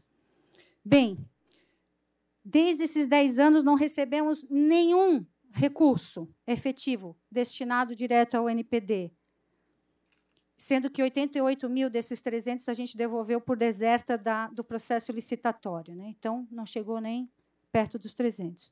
Durante todo esse tempo, a manutenção dos equipamentos, a atualização de softwares, contratação de estagiários externos das áreas do audiovisual, cinema e animação têm sido sustentadas pelo IFSC, sem apoio adicional. Ah, mas é instituição federal, mas é da educação, lembra? A gente está falando de um setor da cultura, sediado dentro de uma instituição de educação federal técnica e tecnológica. Não tem orçamento previsto do IFSC para isso. Lá dentro, nós somos disputa de território e de orçamento. Então, a gente vem disputando internamente o orçamento, que, vocês sabem, tem a emenda da Constituição 95, também conhecida como emenda dos testes dos gastos, públicos. Então, a gente tem um orçamento a metade do que a gente tinha quando foi criado o NPD dentro do IFSC. Hoje estamos operando com os mesmos equipamentos de captação, imagem SOL, filmadoras, gravadores e lentes que adquirimos há 10 anos a desatualização destes equipamentos tem impactado significativamente na procura pelos equipamentos. O setor não está mais procurando o NPD. Né? A gente recebe um, dois pedidos de empréstimo. Então, eu faço um apelo urgente que precisamos de investimentos para renovar esses equipamentos. E o Estado precisa, o NPD é estadual, foi uma verba de implantação do governo federal, mas ele é responsabilidade estadual de fortalecer a rede de formação garantindo que os colaboradores possam ser reconhecidos e remunerados. É fundamental pensarmos em alternativas. A gente não está previsto em nenhuma política estadual hoje, nem Lei Aldir Blanc, nem plano nacional, nem o plano estadual de cultura. A gente é invisibilizado. O NPD pro estado de Santa Catarina não existe. Obrigada.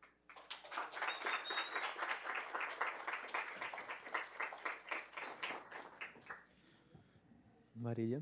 Bom, tá frio aí, galera, né? Tá bem frio. Mas que seja só o ar-condicionado, né? Bom, me autodescrevo como mulher, me considero parda, de pele clara, latina, de cabelo cacheado curto, com passibilidade social, em roupa formal, sóbria, hoje. Cumprimento a galera, e vocês já vão saber por que usar essa expressão, que não me cabe tanto na minha forma como eu me expresso. Estou aqui para falar sobre o Prêmio Catarinense de Cinema, uma iniciativa fundamental para o fomento do audiovisual em nosso Estado. É com imensa honra que destaco a proposta encaminhada ao SEC pela conselheira Carol Borges de renomear o prêmio com o nome de Antônio Celso dos Santos, meu pai, e de Tiago, que está aqui presente.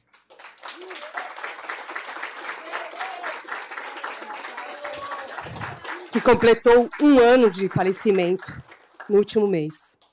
Solicita a continuidade dessa proposta de homenagem, uma vez que agora temos reunidas ambas as casas, executivo e legislativo.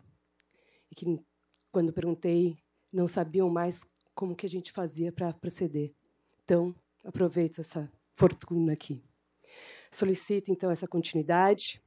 Celso dedicou sua vida a ampliar o acesso ao cinema e buscando o sonho de tornar o audiovisual uma vocação viável em Santa Catarina, evitando a necessidade de evasão, que ainda segue. Celso esteve junto com tantos que estão aqui, em construção e reivindicação de criação de filme commission, de lei de incentivo fiscal estadual, tantas outras. Esse sonho se concretizou com o FAM, o Festival de Cinema mais antigo do Estado, que ele fundou e sustentou com enorme dedicação. Festivais têm o poder de inspirar inúmeras pessoas e hoje seguimos esse exemplo, também estando aqui. É vocação dos festivais aproximar a população da produção audiovisual. Festivais que criam demanda de mercado e desenvolvem competências técnicas, fortalecem o ecossistema produtivo do setor.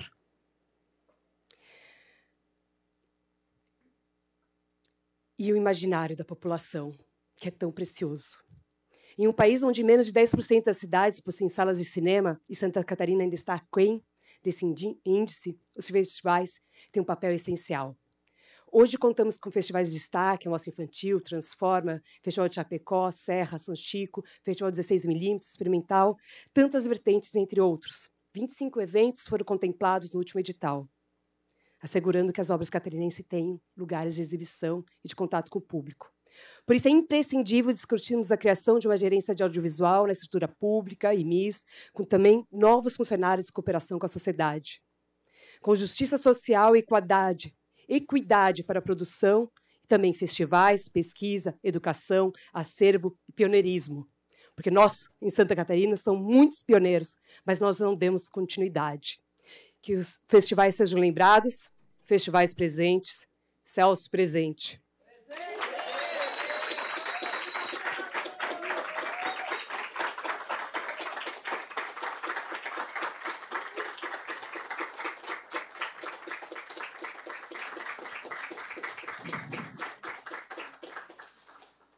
Celso presente.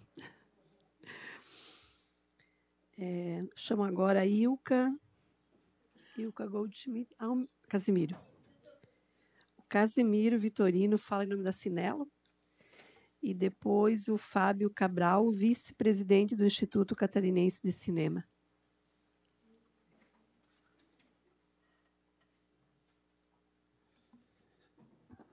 Boa noite a todos. É um prazer estar aqui pela terceira vez. A primeira vez foi em 2008 para receber um prêmio do cinema catarinense, né, que era o, o antigo Prêmio Catarinense de Cinema, que nós ganhamos lá em Chapecó. E depois mais duas vezes, essa é a terceira. A segunda vez foi quando a gente veio aqui para justamente é, receber o prêmio da TVAL, que selecionou três filmes da região oeste para cá. Então é um prazer estar aqui hoje é, discutindo essas demandas que o pessoal já trouxe aí. Eu vou trazer alguns números. Né? Como eu falei, é, nós não temos indicadores, mas em 2019, por isso que o PCC é tão importante para o audiovisual catarinense, porque em 2019 a região oeste, tá? Ele, ela teve 2019 teve dois prêmios de telefilmes. Em 2020 ela teve um projeto de telefilme. Em 2021 ela teve um projeto de telefilme. Em 2023 nós tivemos nenhum projeto de telefilme, porque a regionalização saiu da pauta do PCC. Tá? E a Sinelo tem trabalhado junto com as entidades aqui para discutir essa centralização. E quando a gente fala de indicadores, a região oeste ela recebeu de 2019 a 2023 um montante de 1.381. Ou é um valor, não é nada se a gente for ver, são quatro prêmios de 200 mil reais. Onde é que está a descentralização?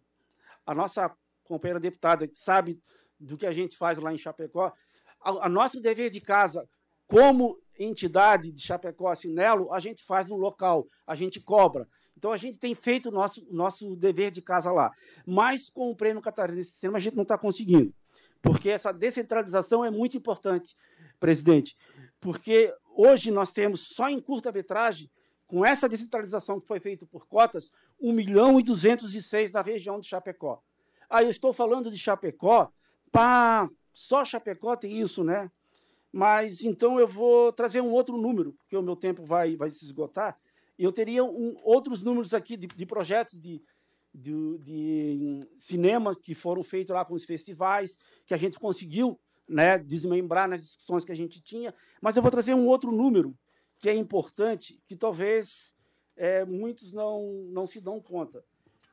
Pediram indicadores aqui, né? eu tenho um indicador para fazer, que é o indicador de 118 municípios na região oeste catarinense. 118 municípios no oeste catarinense. Se Chapecó tem esse montante, não é nada. Né? São quatro filmes, são seis filmes. Pode representar um valor que gerou emprego, gerou uma demanda, gerou imposto de renda, gerou uma série de coisas. Mais de 118 municípios falaram aqui de indicadores. É, a região oeste dos a região oeste dos 118 municípios ela dá simplesmente cinco vezes mais a região da Grande Florianópolis. Então a gente tem que ver que esses indicadores precisam ser descentralizados, sim. Muito obrigado.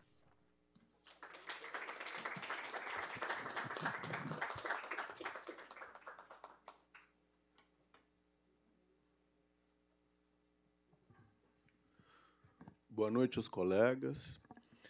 Eu sou um bebê é, nessa questão da atividade é, parlamentar, política, na construção do audiovisual catarinense. Mesmo porque é muito recente a minha participação, a minha atuação, e eu vim aqui mostrar a cara do Instituto Catarinense de Cinema, que foi uma entidade recém-criada por um grupo de profissionais que acreditam piamente na industrialização da produção audiovisual catarinense. O que, que significa industrialização? É produzirmos filmes que resultem em objetos distribuíveis e comercializáveis no mundo inteiro. Tanto que eu fico bastante contente com os números trazidos pela Aline, e pelas colocações feitas pela Cíntia, porque todos nós somos totalmente de acordo com essas colocações das colegas. E eu também gostaria de fazer uma reflexão é, de, de um âmbito um pouquinho filosófico, até, é, dando é, base a isso que eu acabei de dizer para vocês, por ser uma pessoa totalmente um bebê nessa questão aqui, porque a minha atuação no audiovisual sempre foi ligada à área comercial do audiovisual. Eu sempre fiz filmes para com que se tornassem objetos de distribuição eh, e comercialização, porque justamente precisamos, como a Cíntia falou muito bem, bancar e manter o chão da fábrica. porque eu estou aqui representando não um instituto, mas representando toda uma legião de profissionais que começa no motorista da Kombi e vai até a pós-produção. Por isso que eu venho falar aqui de um instrumento do qual eu, particularmente, nos últimos cinco anos, trabalhei fervorosamente. A querida deputada Luciane lembra-se disso, quando nós construímos o PIC, no dia 12 de maio de 2020, a única pessoa presente do nosso setor na sala de votação era eu. Eu nós comemoramos, eu dei um abraço na Luciane, porque conseguimos a lei, e depois fomos para a luta da regulamentação, com todos os defeitos, com todos os erros. E, eh, nesse pequeno período de tempo, o projeto historicamente 001 do PIC é um longa-metragem de minha proponência, que foi uh, também uh, historicamente aprovado, o primeiro projeto aprovado, captado ao longo de 2023, filmado e finalizado em 2024. Então eu gostaria de falar uma coisa muito importante. Precisamos ter os produtos entregues porque não se falou aqui, falamos de Prêmio Catarinense de Cinema, mas não se falou de um número que veio à tona num esclarecimento feito a respeito deste edital tão questionado, do qual eu particularmente nem questiono tanto, porque nós saímos de um edital de 160 páginas que continha pegadinhas para um edital de 40 páginas, resguardando eh, eu acredito que podemos voltar aos indutores realmente é, e várias outras discussões, mas eu acredito que temos que olhar com carinho e com afinco para o nosso programa de incentivo à cultura, que é o nosso PROAC, aqui que eu trabalhei tantos anos em cima de é, fomentos ao audiovisuais oriundos do PROAC, que isenta ICMS em São Paulo. Muito obrigado a todos e gostaria de fazer essa reflexão que eu falei. Se eh, partirmos do princípio de que todos nós presentes nessa sala somos oriundos da mesma fonte criadora, nós deveríamos ter muito mais convergência do que divergências. Então é muito importante a gente levar isso em consideração e também é muito importante a gente levar em consideração a impermanência das coisas e da vida, porque provavelmente daqui a poucos cem anos, todos nós aqui não estaremos mais presentes discutindo essas coisas. Que a gente possa seguir confiando um nos outros, apesar das divergências, mas produzindo a indústria audiovisual de Santa Catarina. Muito obrigado. É, eu quero só fazer o registro aqui de algumas presenças e presenças online também. Presença física aqui da equipe da Fundação Catarinense de Cultura, a Liliana, online. Ah, não, não é, não é, não é física. A Liliana Alves online, a Ana Lígia Becker também online. É, a Betita, que é a coordenadora do MIS, está aqui conosco o Rafael, Cândido e Rodrigo também do MIS que estão aqui. O Augusto Zeiser, que é coordenador geral da Cinelo, Associação de Cinema e Vídeo Chapecó e Região, está online. Valmer Júnior, Conselho de Cultura de Joinville, online também, também online. E o Caê Martins, que é vereador eleito em São José e Conselho Municipal de Cultura de São José. São esses os registros. Então vamos dar continuidade. Eu vou chamar a Gisele Sesconeto, que representa a rede de cineclubes de Santa Catarina. A pessoa veio de marca texto na E- roupa. E eu vou pedir Desculpa, a preparar. Marquito. Vou pedir a preparar o Arthur Gomes, que é a drag. Suzaninha, que é titular do Conselho de Florianópolis da cadeira de cultura LGBTQIAPN+. É isso que dá, né? A gente é. A idade faz isso, os cabelos grisalhos nos colocam em situações de representação. É, sou Gisele, é, membro do Cineclube Olho Olhó, hoje aqui representando a rede de cineclubes catarinenses, que atualmente está com 87 membros de diversas regiões do Estado, unidos na luta por políticas públicas que valorizem plenamente o papel transformador dos cineclubes em nossas comunidades. Embora não tenhamos uma organização oficial com CNPJ, nossa rede é forte e articulada. Estamos profundamente descontentes com o fato de que as políticas públicas atuais, como exemplo as leis Aldir Blanc, Paulo Gustavo PCC, nos enxergam apenas como pontos de exibição a serviço da produção audiovisual, determinando como e o que devemos fazer. Estipulam, inclusive, quantas sessões, inclusive é, tempo de sessão e etc. É um absurdo a imposição pelos corpos do cineclube, do que os cineclubes têm que fazer. Os cineclubes são muito mais do que isso, são espaços de organização do público, promovendo transformação social, construção de vínculos, senso de pertencimento e comunicação comunitária. Os cineclubes catarinenses não se limitam a exibir e debater filmes. Isso é o nosso feijãozinho com arroz. Nossa atuação é diversa. Envolvemos a comunidade em estudos de linguagem, projetos de formação, desenvolvimento de mídias digitais, aplicativos, produções audiovisuais que expressem as comunidades, servindo como espaço de memória e comunicação da comunidade. Somos expressão e arquivo, não somos só exibição. Precisamos de políticas que reconheçam nossa diversidade e ofereçam apoio para as nossas reais necessidades. Vocês não sabem as nossas necessidades e estão propondo é, política pública por nós, não estão nos ouvindo. Precisamos aquisição de equipamentos, infraestrutura básica, pagamento de conta como aluguel, combustível, remuneração dos agentes culturais e produtores, garantindo oferta de oficinas, cursos formativos, atuação regular evitando as sazonalidades típicas de uma política exclusiva de editais. Quem foi que disse que lei Aldir Blanc é edital? Pode ser de outra forma, não pode? Não pode ter fomento direto para atividades e coletivos? Pensando de uma outra forma, por que, que a gente tem que ter concorrência entre nós mesmos? Por que, que a gente não pode convergir de outra forma e pensar política pública de outra forma, sem concorrência deste jeito? O fato de fazermos cineclubes independente de recursos financeiros, pois somos militantes, independente do que vem a gente faz, não significa que a gente não tenha necessidade. Precisamos de alternativas para a criação e desoneração do registro de associação sem fins lucrativos.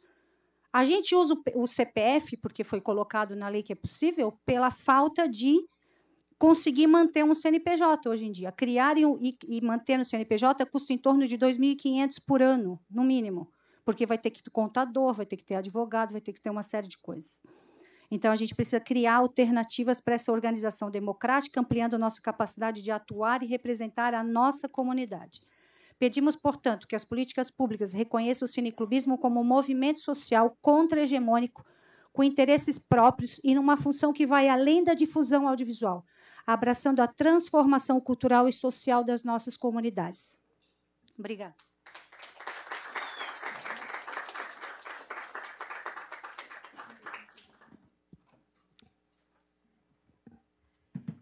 E aí, tudo bom? Oi, gente. Bom, eu sou Arthur, representante da Historial de Cultura LGBT, mas também né, um dos produtores da Transforma, Festival Internacional de Cinema da Diversidade de Santa Catarina. E estou aqui já para primeiro me, me apresentar para Maria Terezinha. Olá, muito prazer. E pedir encarecidamente que vocês tirem o nosso nome da listinha da censura lá dentro da Fundação Catarinense de Cultura, porque a gente não aguenta mais passar por isso. E digo isso é, em relação a, a, como é complexo passar por censura, né? A gente até então não acreditava que isso estava acontecendo.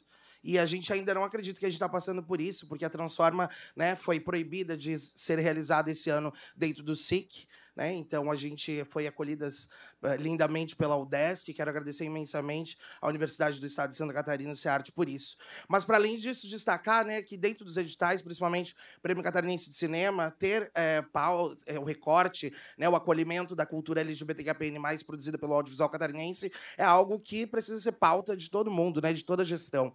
E nesse sentido, a gente destacar o trabalho da Transforma, que esse ano, né, nós fomos contempladas ano passado pelo Prêmio da Lei Paulo Gustavo e giramos o país, fomos para cinco estados, levando a produção LGBTQIAPN+, produzida em Santa Catarina, do audiovisual. E isso foi uma troca tão importante, porque além da gente limpar o nome de Santa Catarina, né, frente ao país, porque as pessoas olhavam para a gente e falavam: Nossa, como é que vocês estão fazendo isso em Santa Catarina?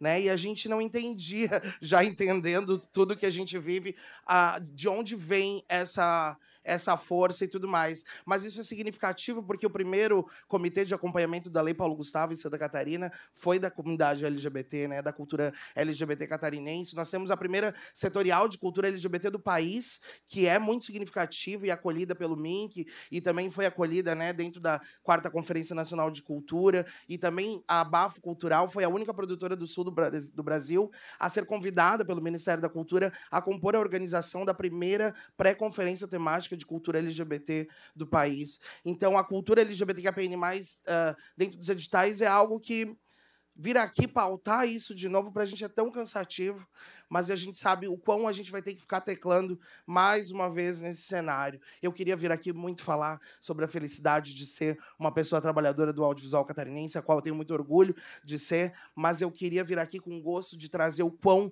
o cenário do audiovisual LGBT catarinense é exemplo para o país inteiro. A gente tem um crescente é, desenvolvimento de projetos e nós temos o principal festival de cinema LGBT do sul do país, que é a Transforma. Muito obrigado, Marília, por citar a gente, porque para a gente é muito importante sermos reconhecidas. Um festival que por tanto tempo foi deslegitimado e passado por tanta censura nesse estado. Todo dia chega uma carta diferente lá em casa pedindo para a gente depor contra né, essas violências que a gente está passando. Então, talvez até uma rubrica dentro dos editais que é terapia. Terapia ser obrigatório, porque a gente não aguenta mais passar por isso.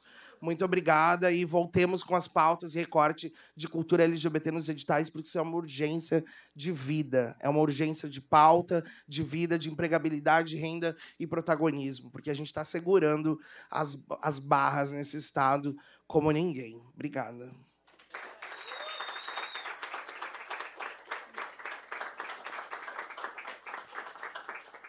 Eu chamo agora o Fernando Choclen mídia alternativa nativa.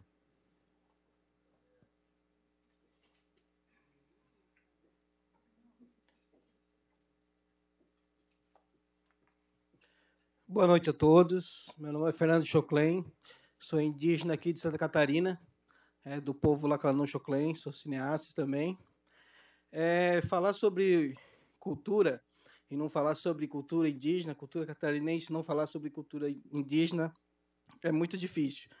É, nós precisamos ter né, o protagonismo do, da população indígena, de contar nossas próprias histórias. É, fiquei muito contemplado com a fala do Luke, também de Juscelino, sobre essa questão. E, e, a gente vem falando isso muitas vezes, muitas vezes, e fica só na falácia. Né? A gente precisa de ação. É, viemos lutando por isso muito tempo. É, quando que vai, a comunidade indígena vai ter esse retorno? É, eu trago aqui uma demanda da população indígena Choclen, que é muito disso, de exploração da cultura. Né? Contam nossas histórias, contam nossos contos, mas não tem retorno para a nossa comunidade. É, eu peço que tenha retorno à comunidade. Né? É, a gente vê muito é, do prêmio, do, vamos falar do prêmio catarinense, é, muitas exigências, burocracia, que impedem a gente de contar a nossa história, de passar um tempo com a nossa comunidade, né? muita questão é, de notas fiscais, muitas coisas burocráticas que, para nós, burocracia ela não funciona. Precisamos flexibilizar. Para isso, nós precisamos ter representatividade nas decisões. Né? Eu acho que só assim a gente vai conseguir construir né, um, um Estado realmente que abranja todas as culturas, não só é, uma, um tipo de cultura. Né? Eu acho que cultura é tudo isso aqui. Ó. Eu acho muito bonito né, de ver essa diversidade, né? Eu acho que a diversidade é isso, mas precisamos que a nós sejam ouvidos, né? Nossa população seja ouvida. Eu acho que é isso que a gente busca. Muito obrigado.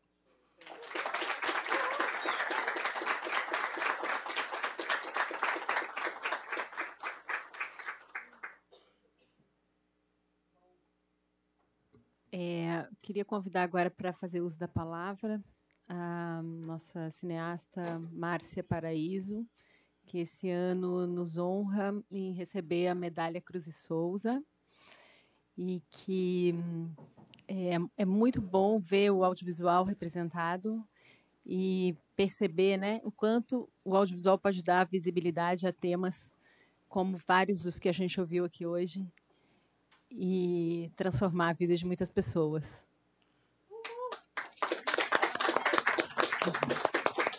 Obrigada pelas palavras, obrigada mesa, obrigada a todos os colegas que estão aqui. E acho que é importante, vou fazer um breve relato. É, Para mim, me pegou de surpresa esse mérito, né, essa medalha que muito me honra, né, que irei receber em breve, e que ela é resultado justamente de uma conquista que foi gradativa, que o prêmio me possibilitou, que eu realizei três trabalhos junto à região do Contestado, do território da guerra, do, onde aconteceu a Guerra do Contestado, que é uma região com muito pouca visibilidade. São pessoas que raramente são abordadas, tanto no seu patrimônio histórico, na sua memória, na sua cultura, na cultura do povo caboclo, que é uma população que muito dos catarinenses e dos brasileiros desconhecem, né, que existem aqui. Então eu acredito que esse prêmio eu recebo junto com todos eles, né? É, nós fizemos três trabalhos nessa região que foram frutos do prêmio catarinense de uma categoria que não existe mais, não existiu esse ano, que é o telefilme. Isso é uma lástima, a gente não pode abrir mão dessa categoria. Todos nós, muitos de nós aqui fizemos trabalhos muito importantes por conta dessa categoria. Um edital é uma conquista, gente, é uma conquista que vem de anos e anos. É, as, para as novas gerações, tiveram gerações anteriores a vocês que brigaram para que o edital chegasse. A gente não pode abrir mão de conquistas que a gente teve. Quando a gente conquista um indutor, a gente não pode abrir mão desse indutor no edital seguinte. Tem que ter essa resistência, essa resiliência, essa presença nossa. É, para que a gente mantenha ao menos aquilo que foi conquistado, nunca menos, sempre mais, sempre mais vozes, nunca menos vozes. Então, é muito bom ver todos nós aqui, toda essa pluralidade de pessoas, de desejos, e tem espaço para todos nós. A nossa briga é que para a gente tenha muito mais espaço, mais recursos, sempre. Obrigada. Boa noite.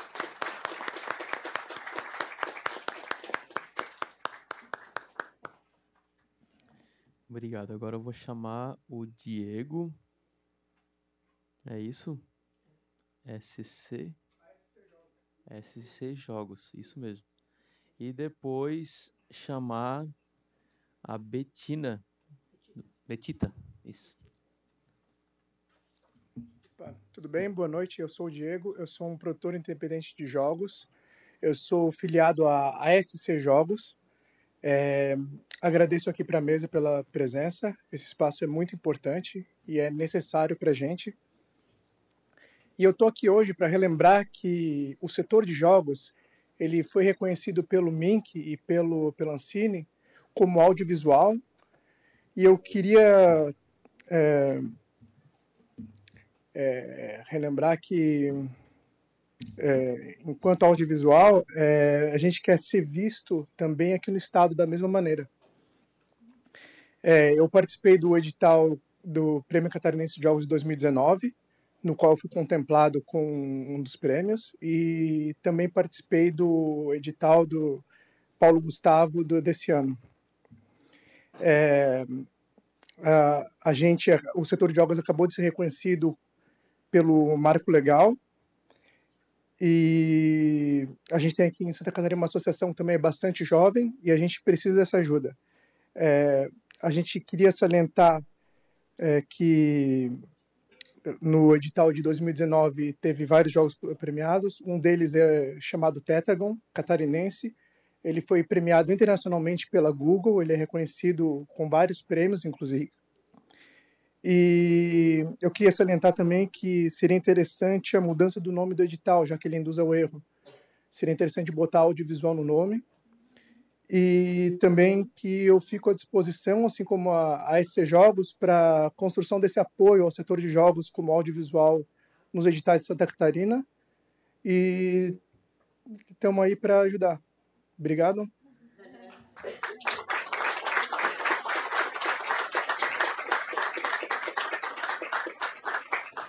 Nós temos a Betita e depois a Cíntia, que fala em nome do Conselho Superior de Cinema. É isso.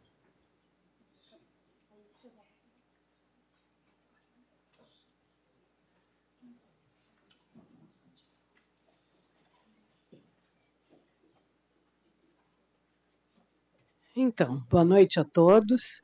Uh, em nome dos, de alguns servidores da Fundação Catarinense de Cultura, na qualidade hoje de administradora do Museu da Imagem e do Som, eu quero dizer que está sendo bem emocionante ouvir todos vocês e tem sido um prazer durante esse ano que eu assumi o MIS em, em janeiro, conhecer muitos de vocês, ouvir as histórias, ouvir as demandas, aprendi muito, né? Uh, eu gostaria de deixar claro alguns pontos. Primeiro, uh, edital Prêmio Catarinense Cinema não é um prêmio, é um edital de fomento.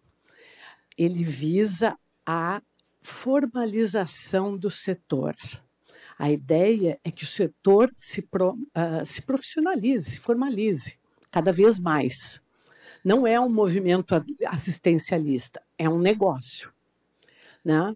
Eu sinto muito de ouvir o, o, o Tomás e o Arthur falando que foram segregados. O SIC é de todos. Os servidores do SIC são o povo. Tá?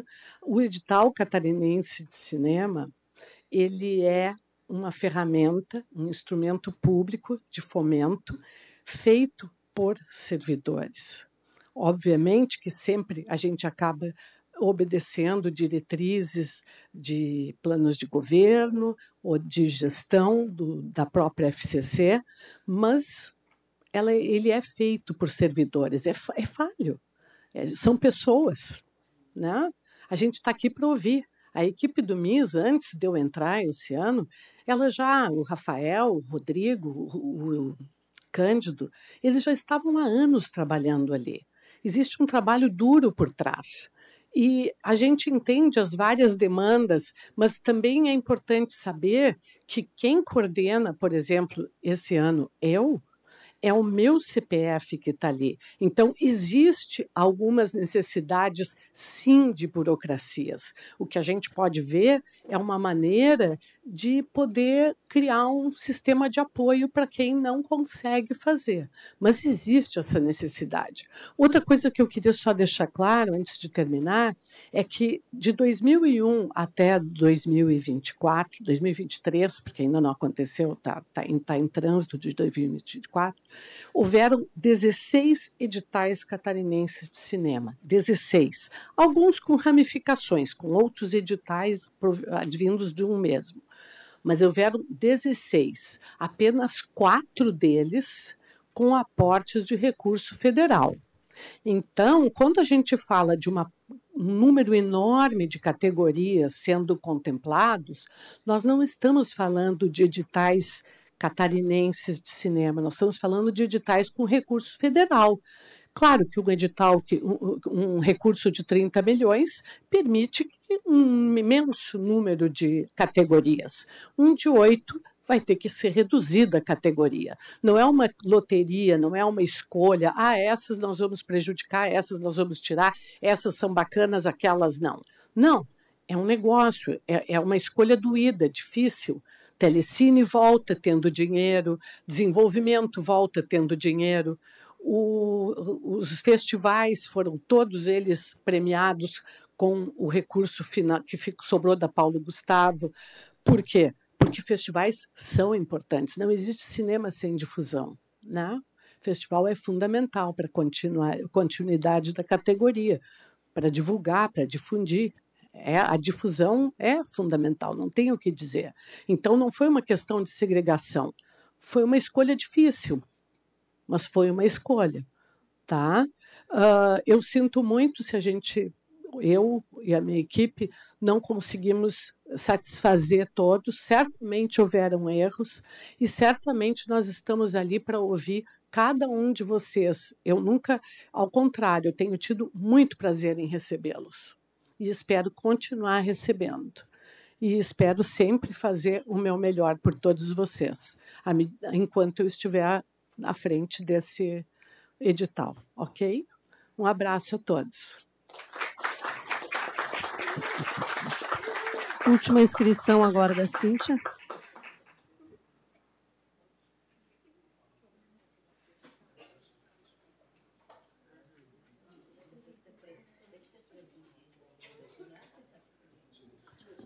É, boa noite. Bom, já me autodescrevi. É, fui solicitada aqui para fazer uma fala enquanto Conselho Superior de Cinema agora, numa tentativa muito rápida de é, trazer mais informações sobre o que é o edital de arranjo regional que a gente está falando bastante aqui, também conhecido por coinvestimento regional.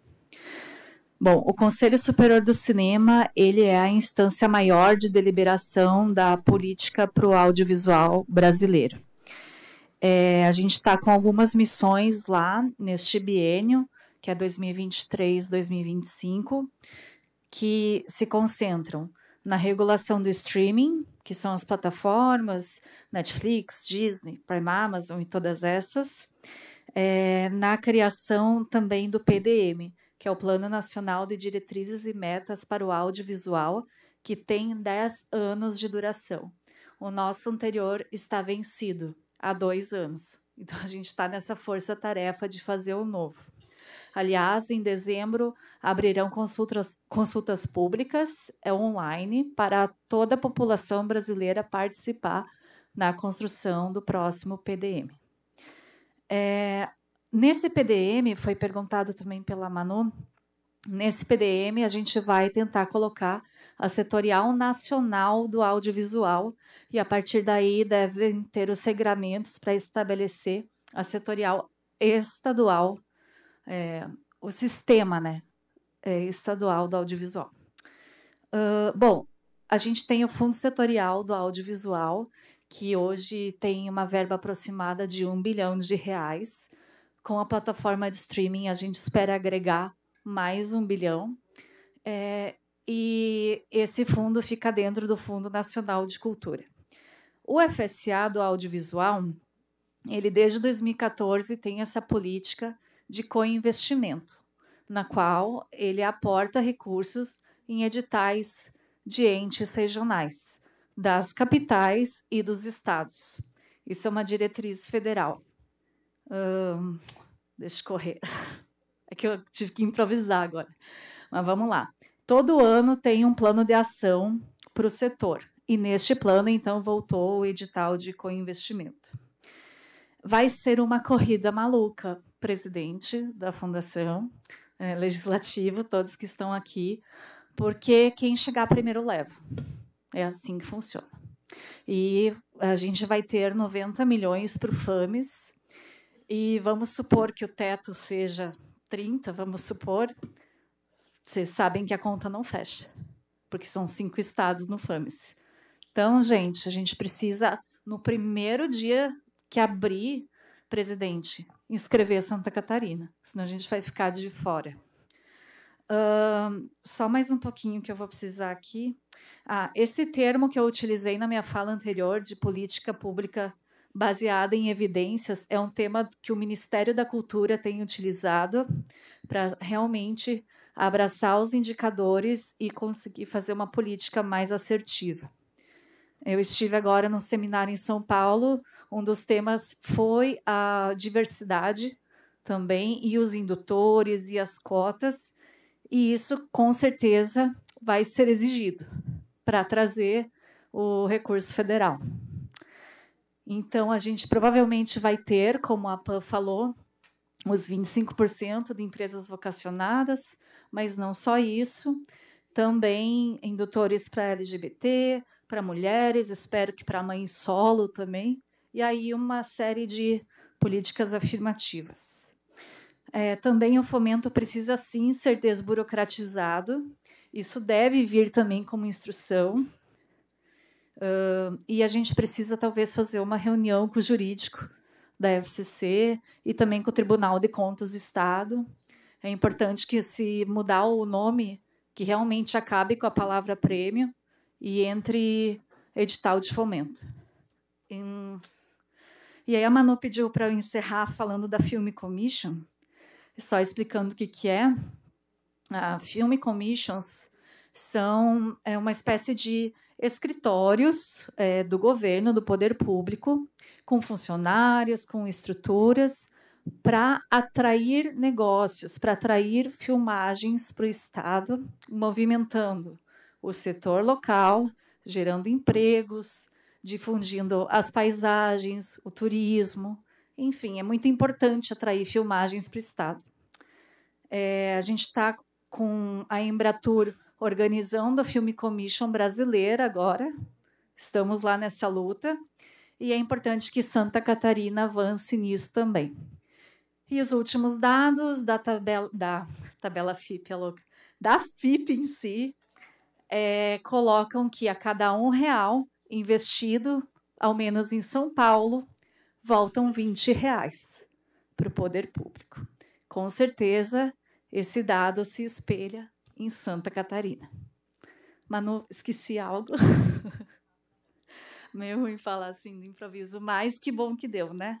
E se tiverem alguma dúvida, com certeza a SAV, o próprio conselho, a estrutura do MINC está aí disponível para colocar a Santa Catarina para atingir o potencial que todas, todos, todos sabemos que temos. Obrigada.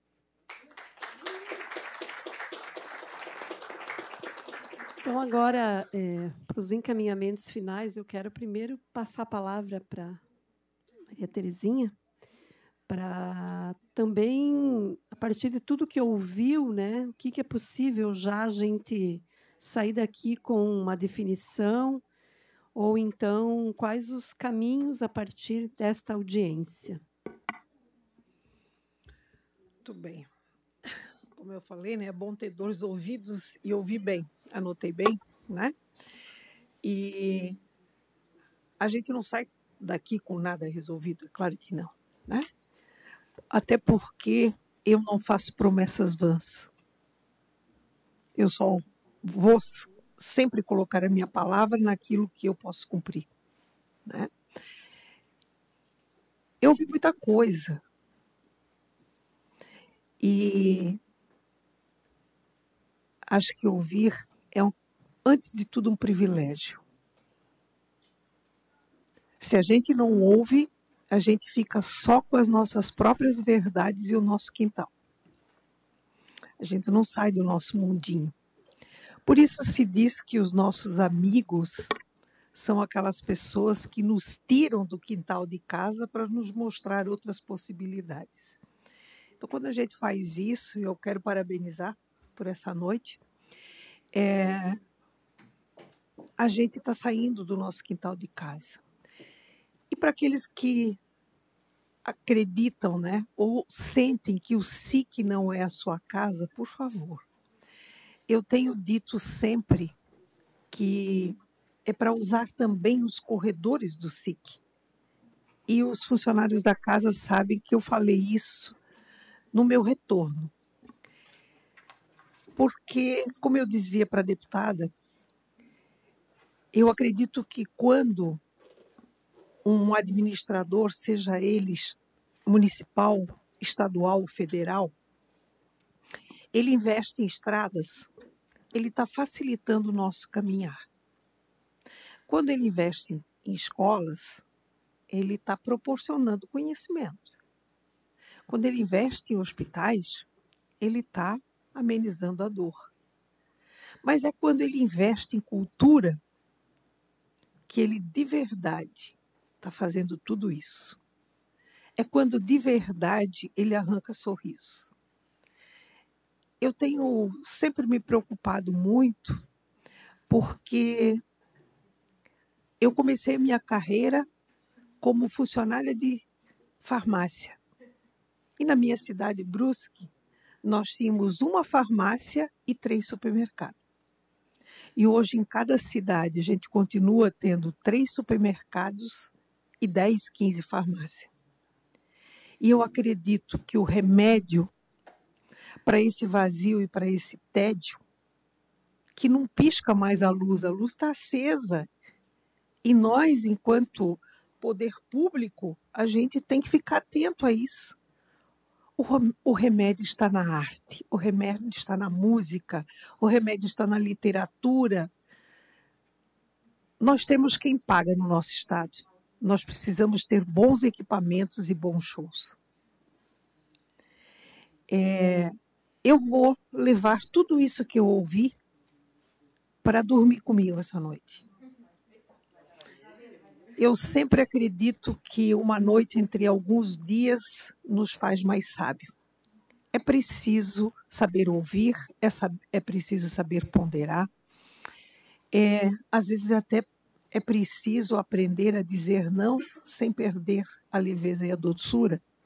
Então, nem tudo que está colocado aqui, às vezes é possível.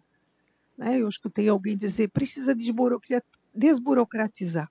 E eu digo para vocês assim, ai, a gente está numa era em que a gente não tem mais, parece, tempo para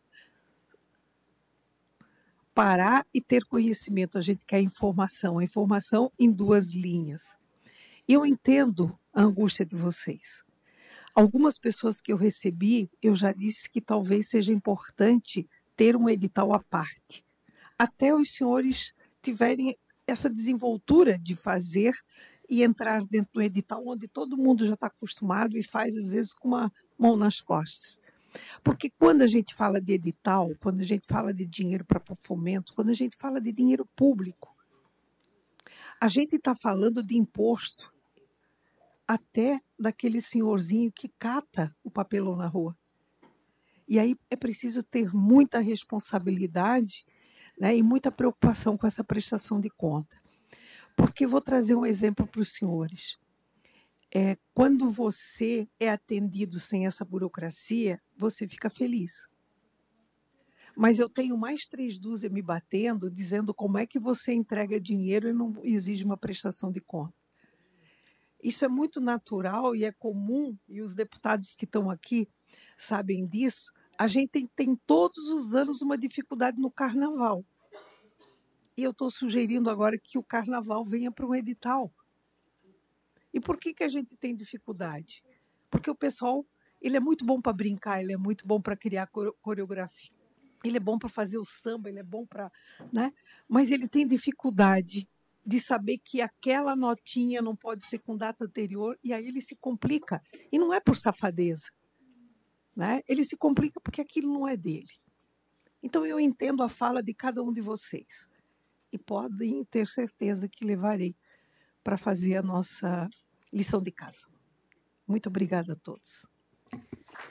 Eu quero, em comum acordo aqui, eu e o deputado Marquito, nós queremos é, reforçar o entendimento dessa audiência. Está aqui a taquigrafia, então todas as falas feitas da mesa, da tribuna, todas vão compor um documento que é o resultado desta audiência. Esse é um documento oficial. O que está ali, o que foi falado. E isso serve como referência para as nossas lutas de hoje em diante. Então, eu quero reforçar primeiro esse entendimento. Então, nós não precisamos aqui retomar nada do que foi falado. O que foi falado vai para a ata e serve ao Conselho, à Fundação, à nossa luta aqui no Parlamento como um todo. Mas eu quero reforçar alguns entendimentos importantes desta noite.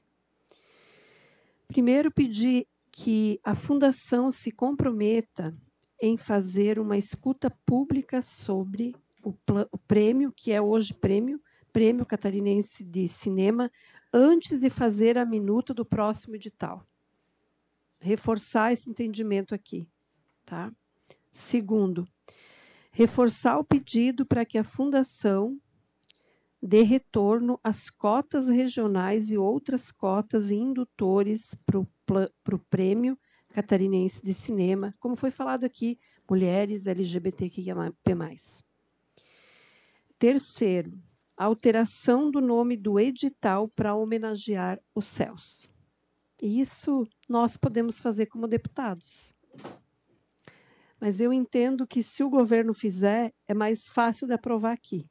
Então a gente se dispõe, como parlamentares, né, Marquito, conversar com o governo se precisar, mas a gente não vai é, esquecer o que foi aqui mencionado. E eu, quando a filha falou, né, Marília, eu me emocionei porque não dá para falar do audiovisual catarinense sem falar do Celso. Acho que ele merece isso de nós. E aqui pode estar um exemplo de algo que a gente faz em conjunto, executivo com legislativo. Então fica também conselho, obviamente, que, como eu falo do, da, do, da fundação, né? Queria, também, sim. Queria ajudar a complementar essa nessa da alteração do nome. Eu acho que já seria o momento para tirar o nome de prêmio para sim para é. ser o edital de fomento, né? né? Uhum.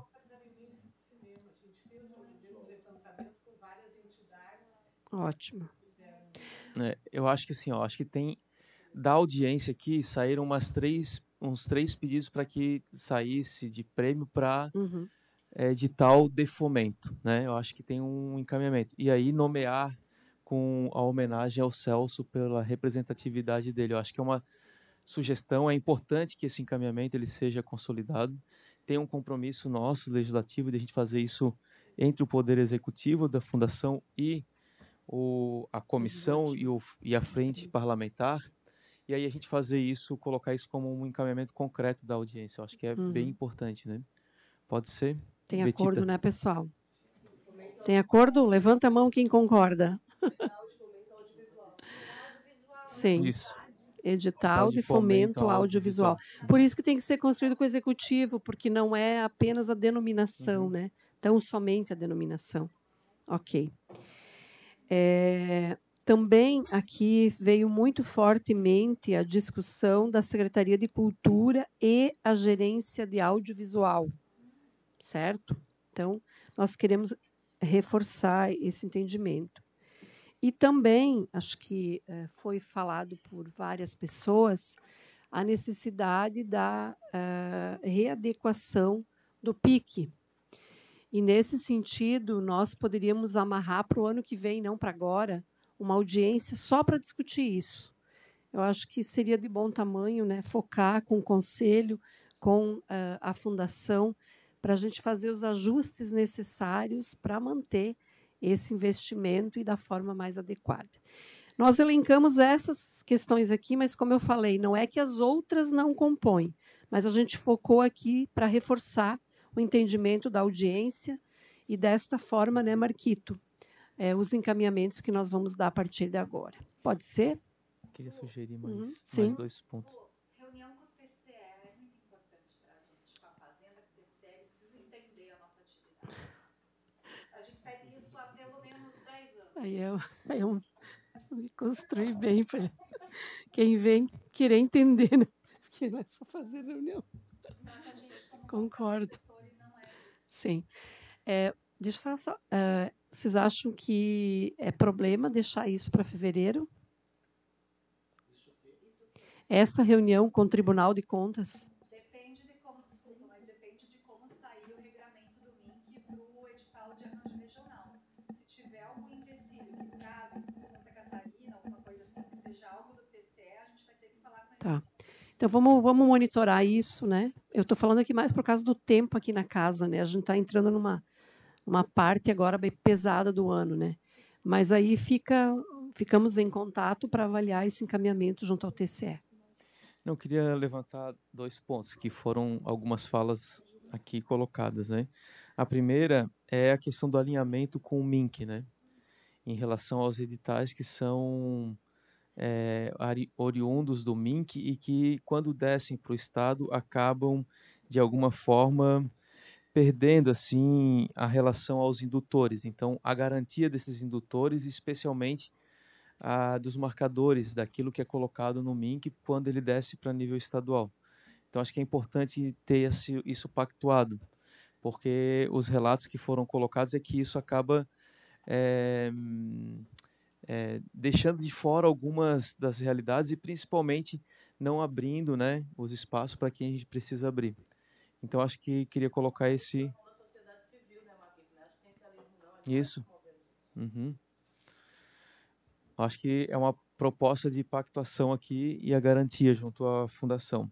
A outra é esse é isso que também nos trouxe muita estranheza, que é o valor de apenas 9 milhões de reais na lei orçamentária anual para o audiovisual. Então isso acho que a gente tem condições é necessário um movimento do executivo, obviamente, né?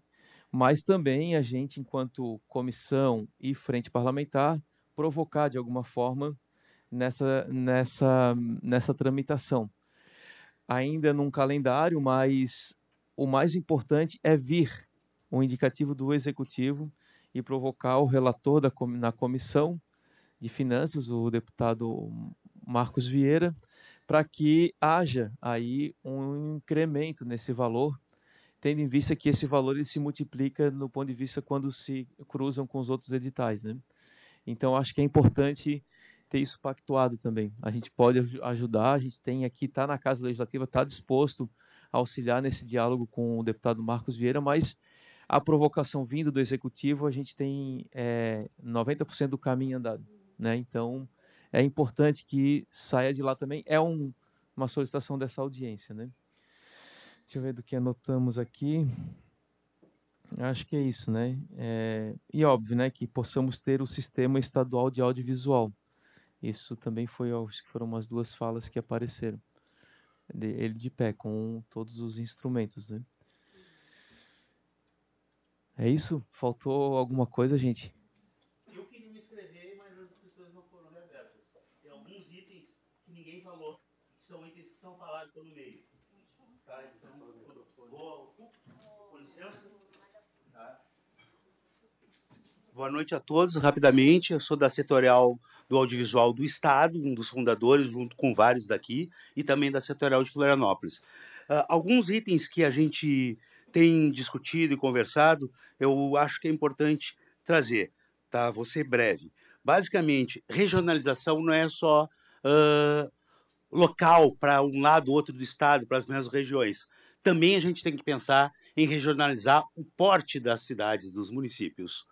Né? Não dá para uh, município pequeno concorrer com município grande, sabe? A produção para ela ser capilar, para ela ter atingir os vários rincões e locais do estado, ela tem que ser pensada em categorias, em níveis, né? Para festival, para produção, para desenvolvimento, pelo tamanho das cidades, sabe? Porque se fica numa discussão de regionalização por meso, que é necessária, não sou contra, mas que uh, dentro da Meso, o município pequeno está concorrendo com o município grande. E isso também causa distorções. Então é algo importante. Outra coisa é a questão das produções paralelas. O ciclo de produção do audiovisual não é de seis meses, de um ano. Então, principalmente no PIC, esse ano acabou isso também atingindo o Prêmio Catarinense de Cinema, que quem está em uma realização, numa produção, não tem acesso a um outro projeto ser escrito. Né? Isso é um problema do PIC, desde sempre, e esse ano virou uma questão também do Prêmio Catarinense de Cinema, de quem estava em andamento, não inadimplente. O inadimplente é óbvio que não deve concorrer, mas a pessoa está dentro do seu cronograma que foi proposto lá no período de inscrição, foi avaliado, foi aprovado, e porque eu estou fazendo um, eu não posso mais escrever outros. O ciclo do audiovisual, que tem uh, desenvolvimento, pré-produção, produção e finalização, é muito maior do que um ano. E, por fim, o outro item é que o seguinte: nós da cultura somos muitas vezes tratados como ladrões, como bandidos, porque o sistema é de edital, que nem construir uma ponte ou fornecer alguma outra coisa para o Estado, mas somente nós fazemos prestação de conta. O nosso objeto é entregue conforme o edital exige, e além disso, tem que ter cada nota de cada coisa. Então, eu quero prestação de conta das pontes ou a dispensa da prestação com a entrega do objeto, sabe? Tem que ser equivalente o tratamento. Por que, que a cultura é tratada diferente? Isso é uma questão legislativa, sabe? Então, assim, ou me mostra a prestação de contas da ponte, ou não peçam a minha, porque o meu objeto eu entrego. Se eu não entregar meu objeto, ok. Aí é um problema. Mas, sabe, não não está equilibrado isso. Seria isso. Muito obrigado aí pela oportunidade. É isso, pessoal. Então a gente agradece aqui. Ilka?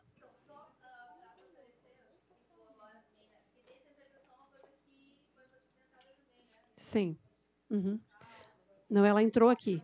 Como eu falei, tudo que foi falado aqui entra no relatório, só a gente fez alguns apontamentos para reforçar, mas está garantida a compreensão, tá?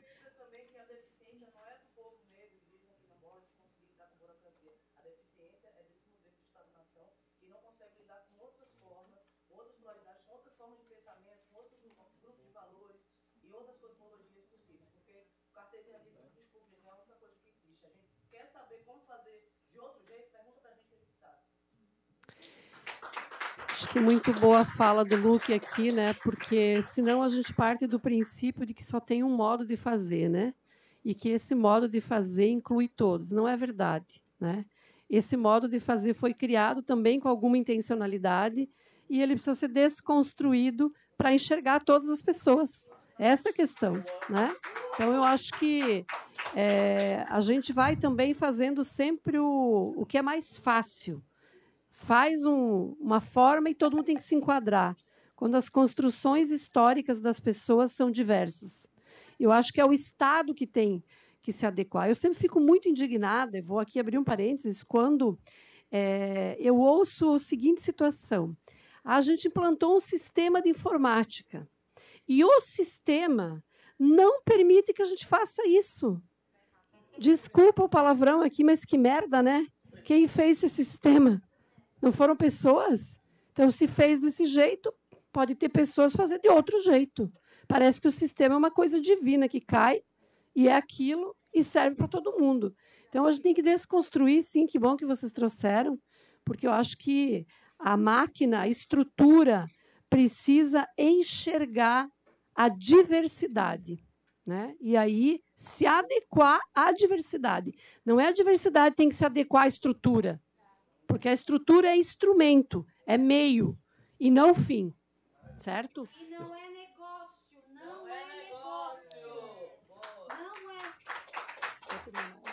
Eu vou passar para o Marquito concluir, porque eu, eu tento concluir, aí o Marquito conclui. Não, só porque esse, esse debate que a gente está fazendo agora, e que é super importante, ele é preciso avançar, tem que ter uns passos à frente, assim, porque se a gente não sentar com o Tribunal de Contas do Estado, se não sentar com a Secretaria de Finanças, se não avançar no sentido de entendimento sobre o setor, a gente não vai conseguir dar esse passo à frente da perspectiva de que fazer um audiovisual entrega o produto e esse produto não precisa ser é, é, totalmente confiscado dentro da sua, da sua execução. Então, é importante avançar nesse sentido.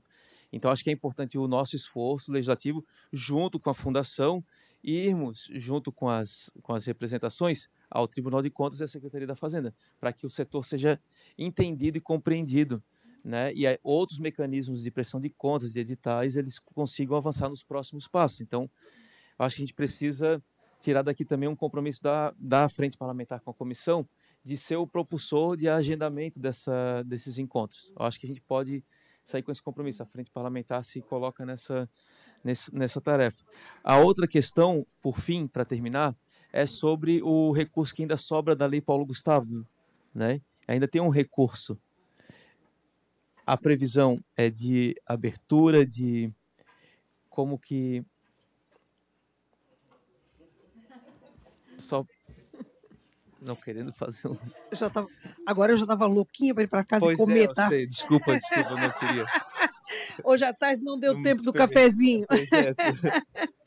Tá?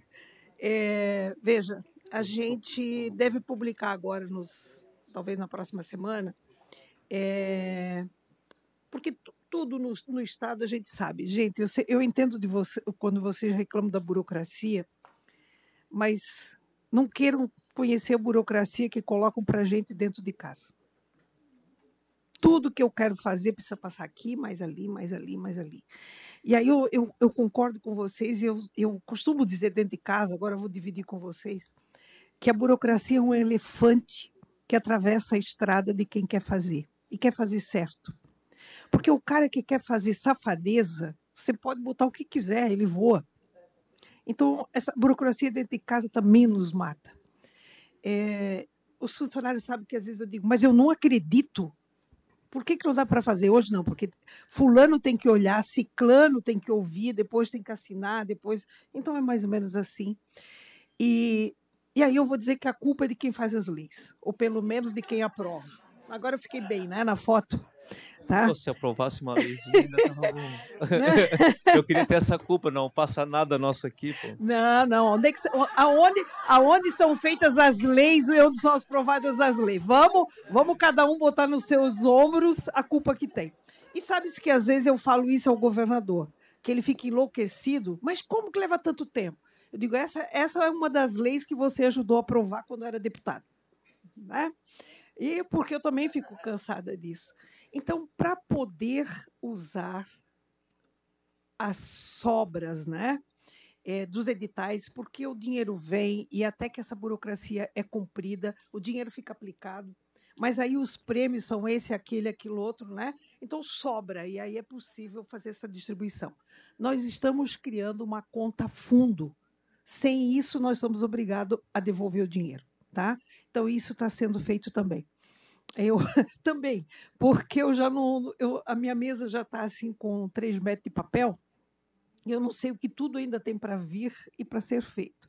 Mas isso está sendo feito, tá? Isso está bem na minha memória. A Carol tinha pedido e eu esqueci. É, rapidamente, mas eu gostaria de citar que muito poucas vezes o Estado de Santa Catarina atingiu o 1% do orçamento dele destinado à cultura, que é o mínimo recomendado pela Unesco. E em muito poucos anos isso foi atingido.